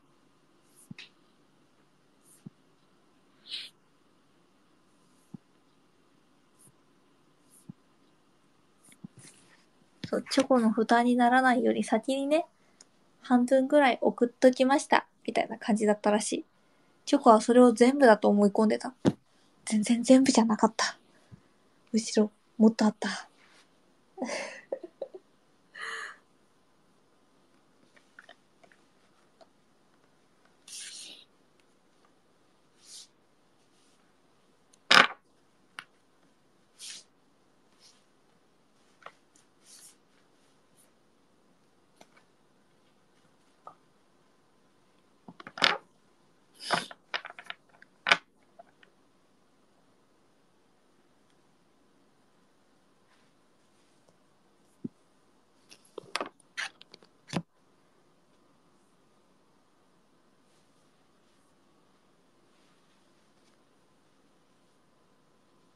いやーでも今回めちゃめちゃいいわ。なんかいつもメッセージもさ、サイン以外でずっと手書きで書いてたからさ、3、4行くらい。それがサインだけってなったら、めっちゃ、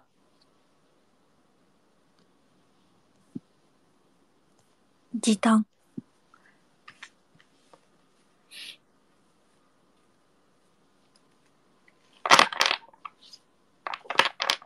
助かるわ。よいしょ。みんなにはすまんだけど。その分、配信時間が増えると思って。うん。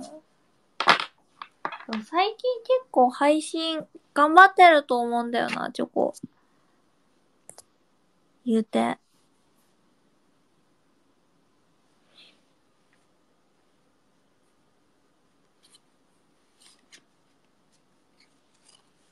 やりやすい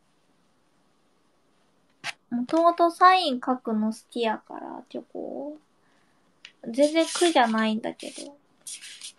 文字はね、うなんか、腕が痛くなっちゃうけど、サインはね、腕痛くなんないよね。超、めっちゃ謎理論なんだけど。そう、毎回こういうサイン書きしてると思うんだけど。もうサインは全然苦じゃないの、チョコ。全然書くことに関して、全然苦じゃないし、いっぱい書きたいって思うんだけど、ちょっとそこに文字がね、あの、加わると、あの、ちょっとね、腕が死ぬ。もうサインだけだったら全然いくらでも書けますみたいな感じなんだけどね。そこにね、文字が加わっちゃうとね、もう腕が死んじゃうんだよね、毎回。あ、ダメかもってなる。うーん。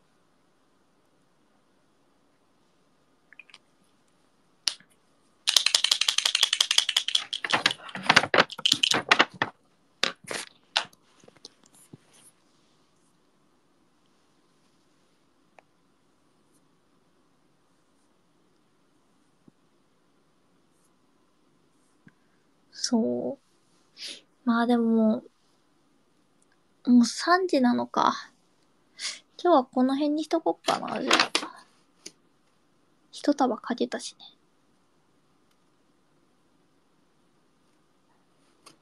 せやな。残りは明日やろう。いやなんか、早くみんなに届いてもらいたいからさ。もう早く勝ちたいってなっちゃう。うん。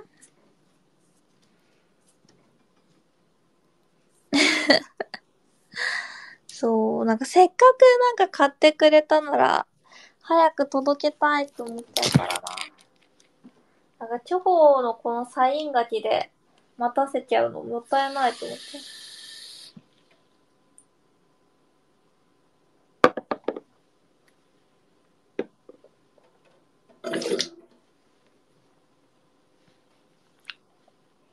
早く書いたらね、早く書いた分だけ、みんなの元にね、チェック行って、から届くからね。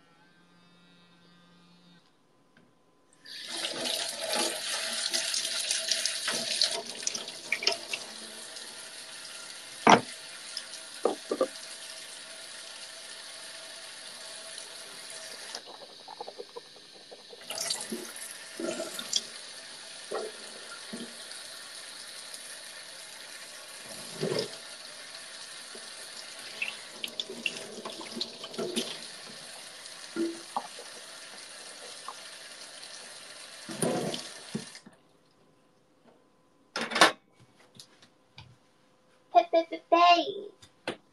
はすっきりした。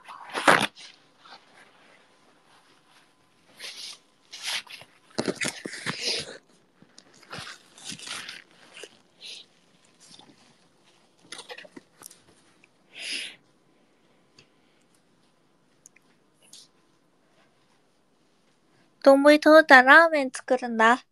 いや、結構いいよ、あのラーメン丼。ガチで。え、チョコのところにサンプル品届いたんだけど。かわいい。結構ね、おっきい。うーん。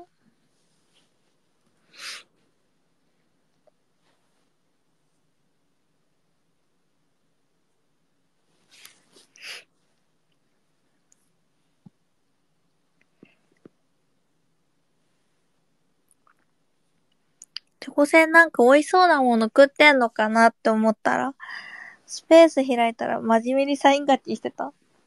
ちゃうねん。もう食べちゃったの。食べ終わっちゃったんだって。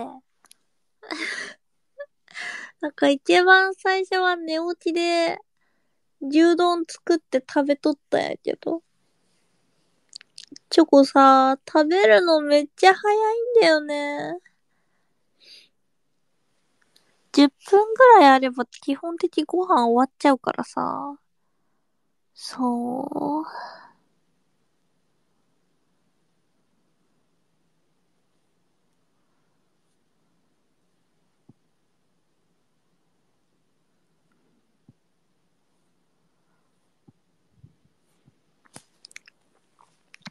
結構早食いだからさ。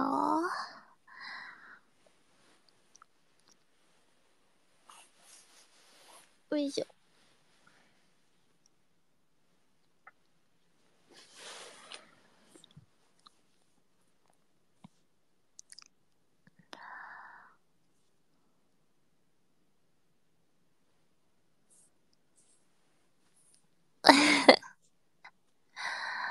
うん。そう、なんか誰かとさ、食べくときとかね、絶対チョコの方が早く食べ終わんだよね。うーん。ゆっくり食べれないんだよね、チョコ。うーん。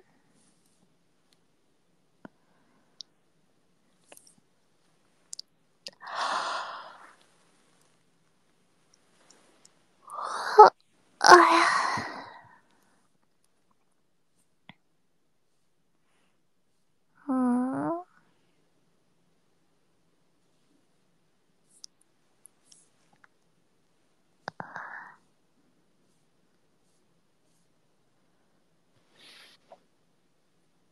ちゃんと噛んでるよ。うん。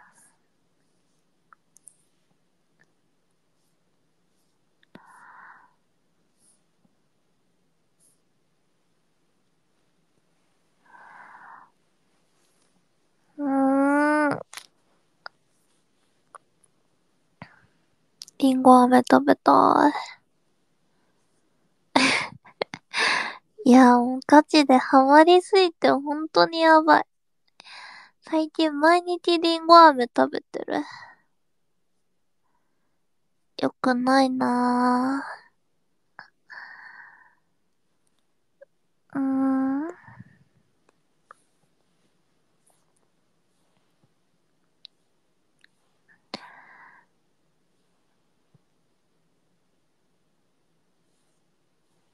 そう、切ってあるりんご飴。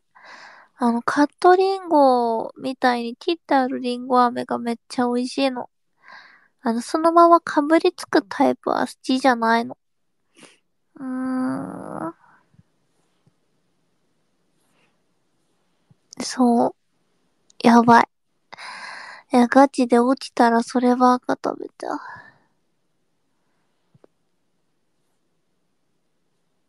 自作は嫌だ。うーん。いや。いや、いやよ。そう。こないださ、コンビニの帰り道にさ、昼間だったんだけどさ、あの、公園でさ、ちっちゃい子たちが遊んでてさ、いやいやよゲームやってたわ。たんたらたらたらたんたらたん。いやいやよーってやつ。知ってるみんな？いやいやよゲーム？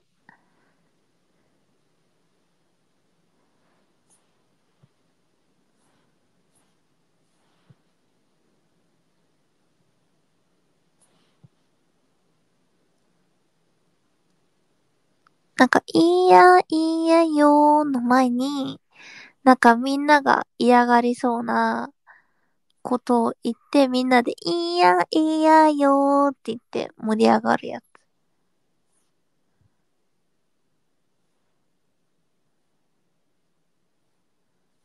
そう。ちょ、これめっちゃ懐かしくて。え、今の子もやっとるんやって思ってなんか、微笑ましくなっちゃった。うーん。そう。例えばなんか、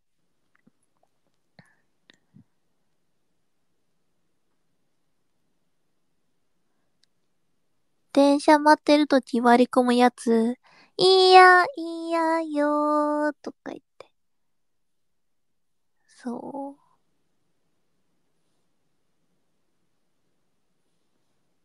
やっていく。いやいやよゲーム。うーん。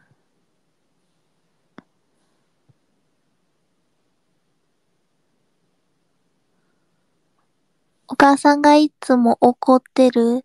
いやいやよーつって。うーん。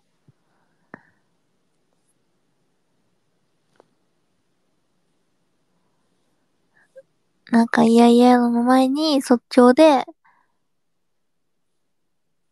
嫌なことを言っていくっていう。うーん。こんなんだったら嫌だなとかやつ。もうそう。あ、そうそうそうそう。なんかそんな感じの。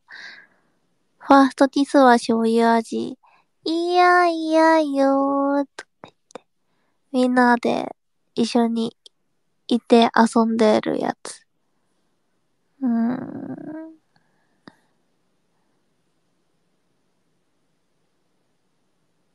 そう。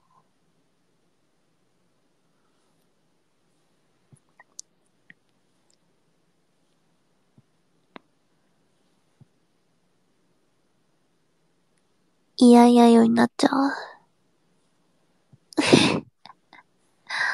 うーん。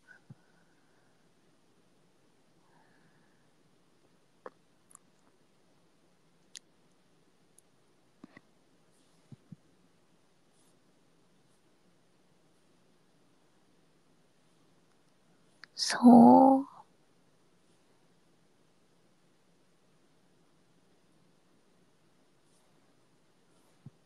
韓国でも幼い時たくさん歌いました？ええー、そうなんだ。結構共通のやつ多いんやね、じゃあ。うーん。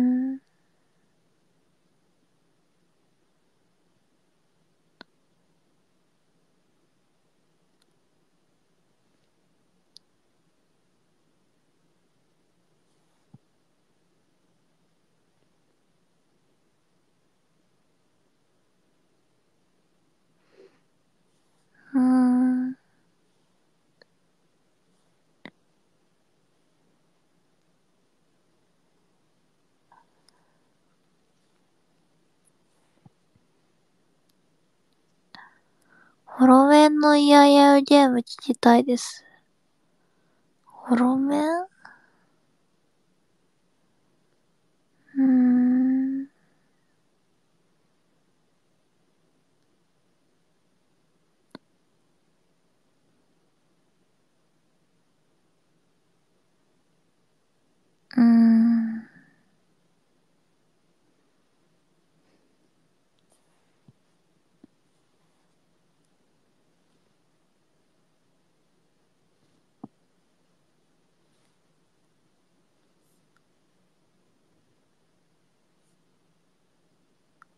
原曲名はオールド・マクドナルド・ハドア・ファーム。アメリカの民謡らしい。そうなんだ。初めて知った。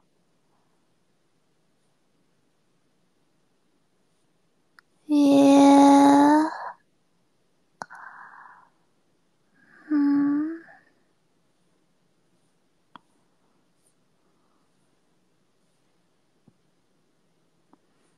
なるほどね。うーん。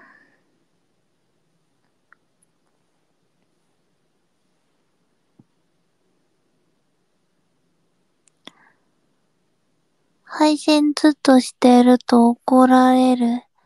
いや、いやよー。長時間配信してると T 迷惑。いや、いやよ。ありがとう。シルブプレジデントチョコ先生。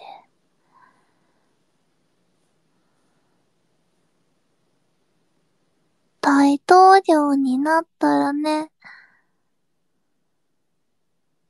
いつも寝ても怒られない法律を作る。そんな私大統領、誰ですか？その女、どこですか？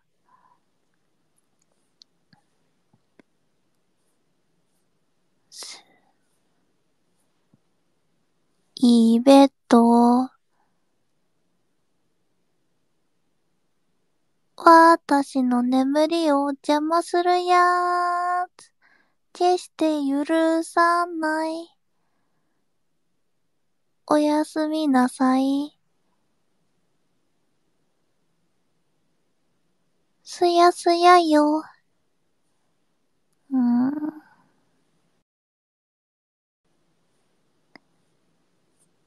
いい歌だ。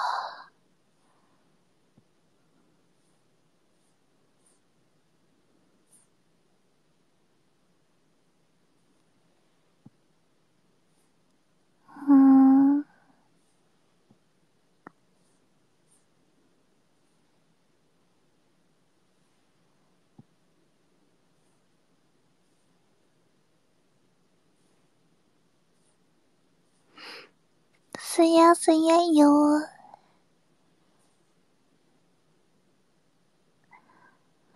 今日友達とボーリング行くのに寝れない？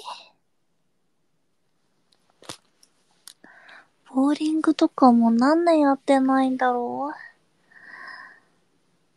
う？チョコ、ボーリング行ったら5本指のボール持つんだ、いつも。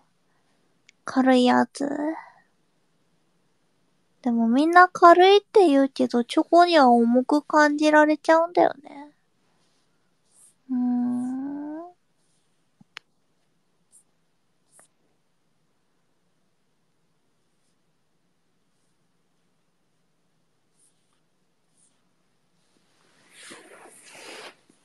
そう。しかも、ボーリングってもう爪伸びてたら終わりよね。うーん。5本指なんてあるんだ。あるよ。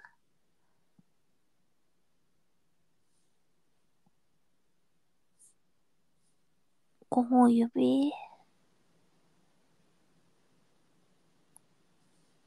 子供が使ってること多いけど。うーん。結構5本指じゃないと無理なんだよね。うーん。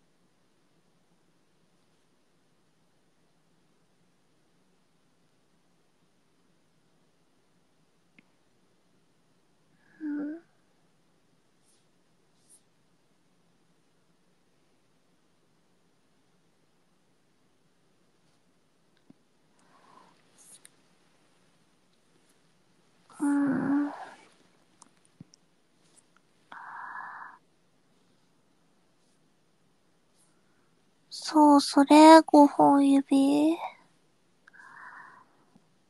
うん。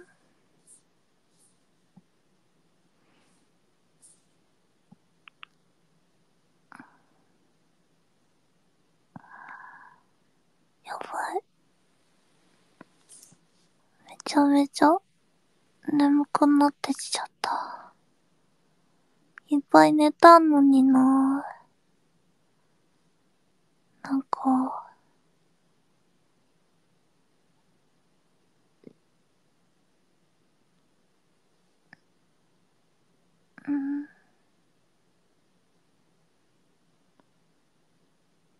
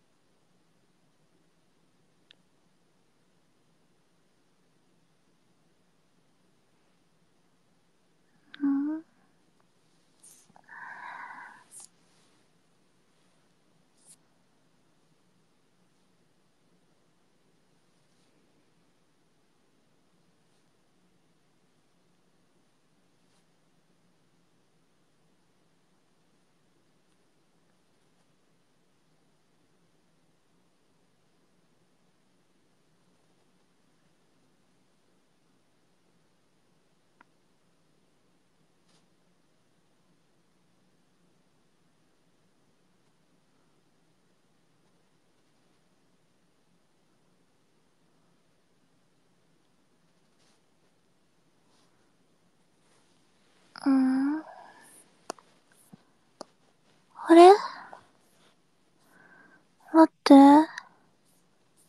なんか、え？チョコ知らない間に、なんか押しちゃったのかな？なんか今、目開けたら、さっきまで白かったのに、画面黄色いんやけど。なんで？背景が黄色くなってる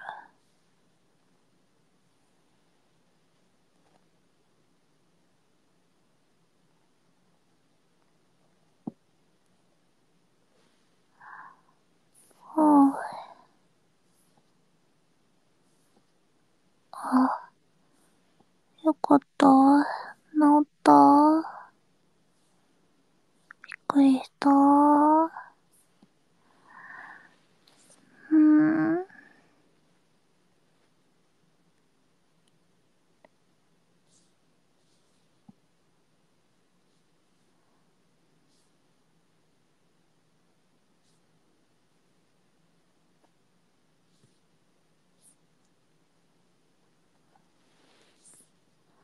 スマホの設定？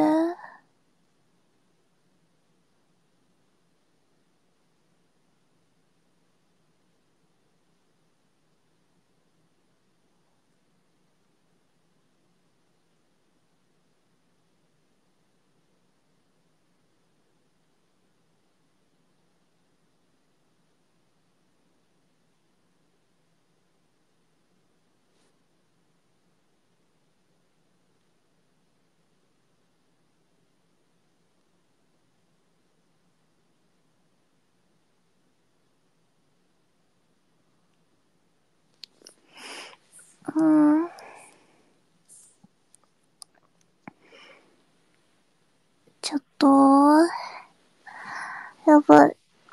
また寝そうだから、ちょっと一旦ここまでにしとく。ありがとう、みんな。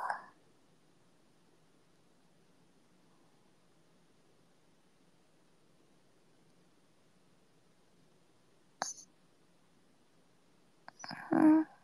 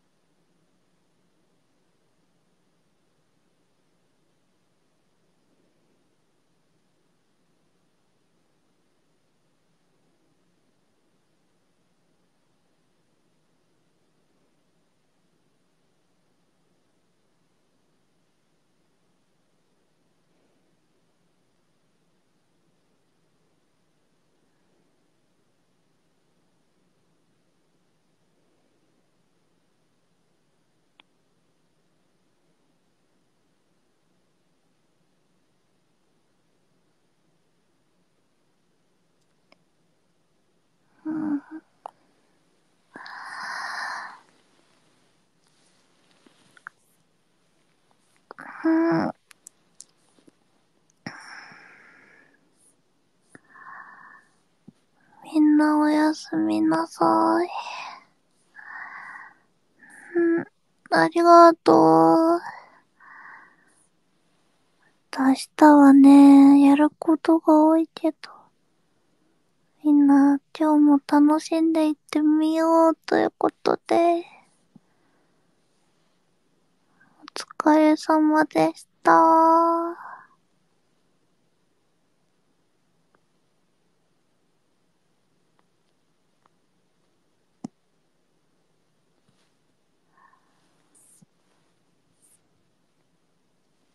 おやすみなさーい。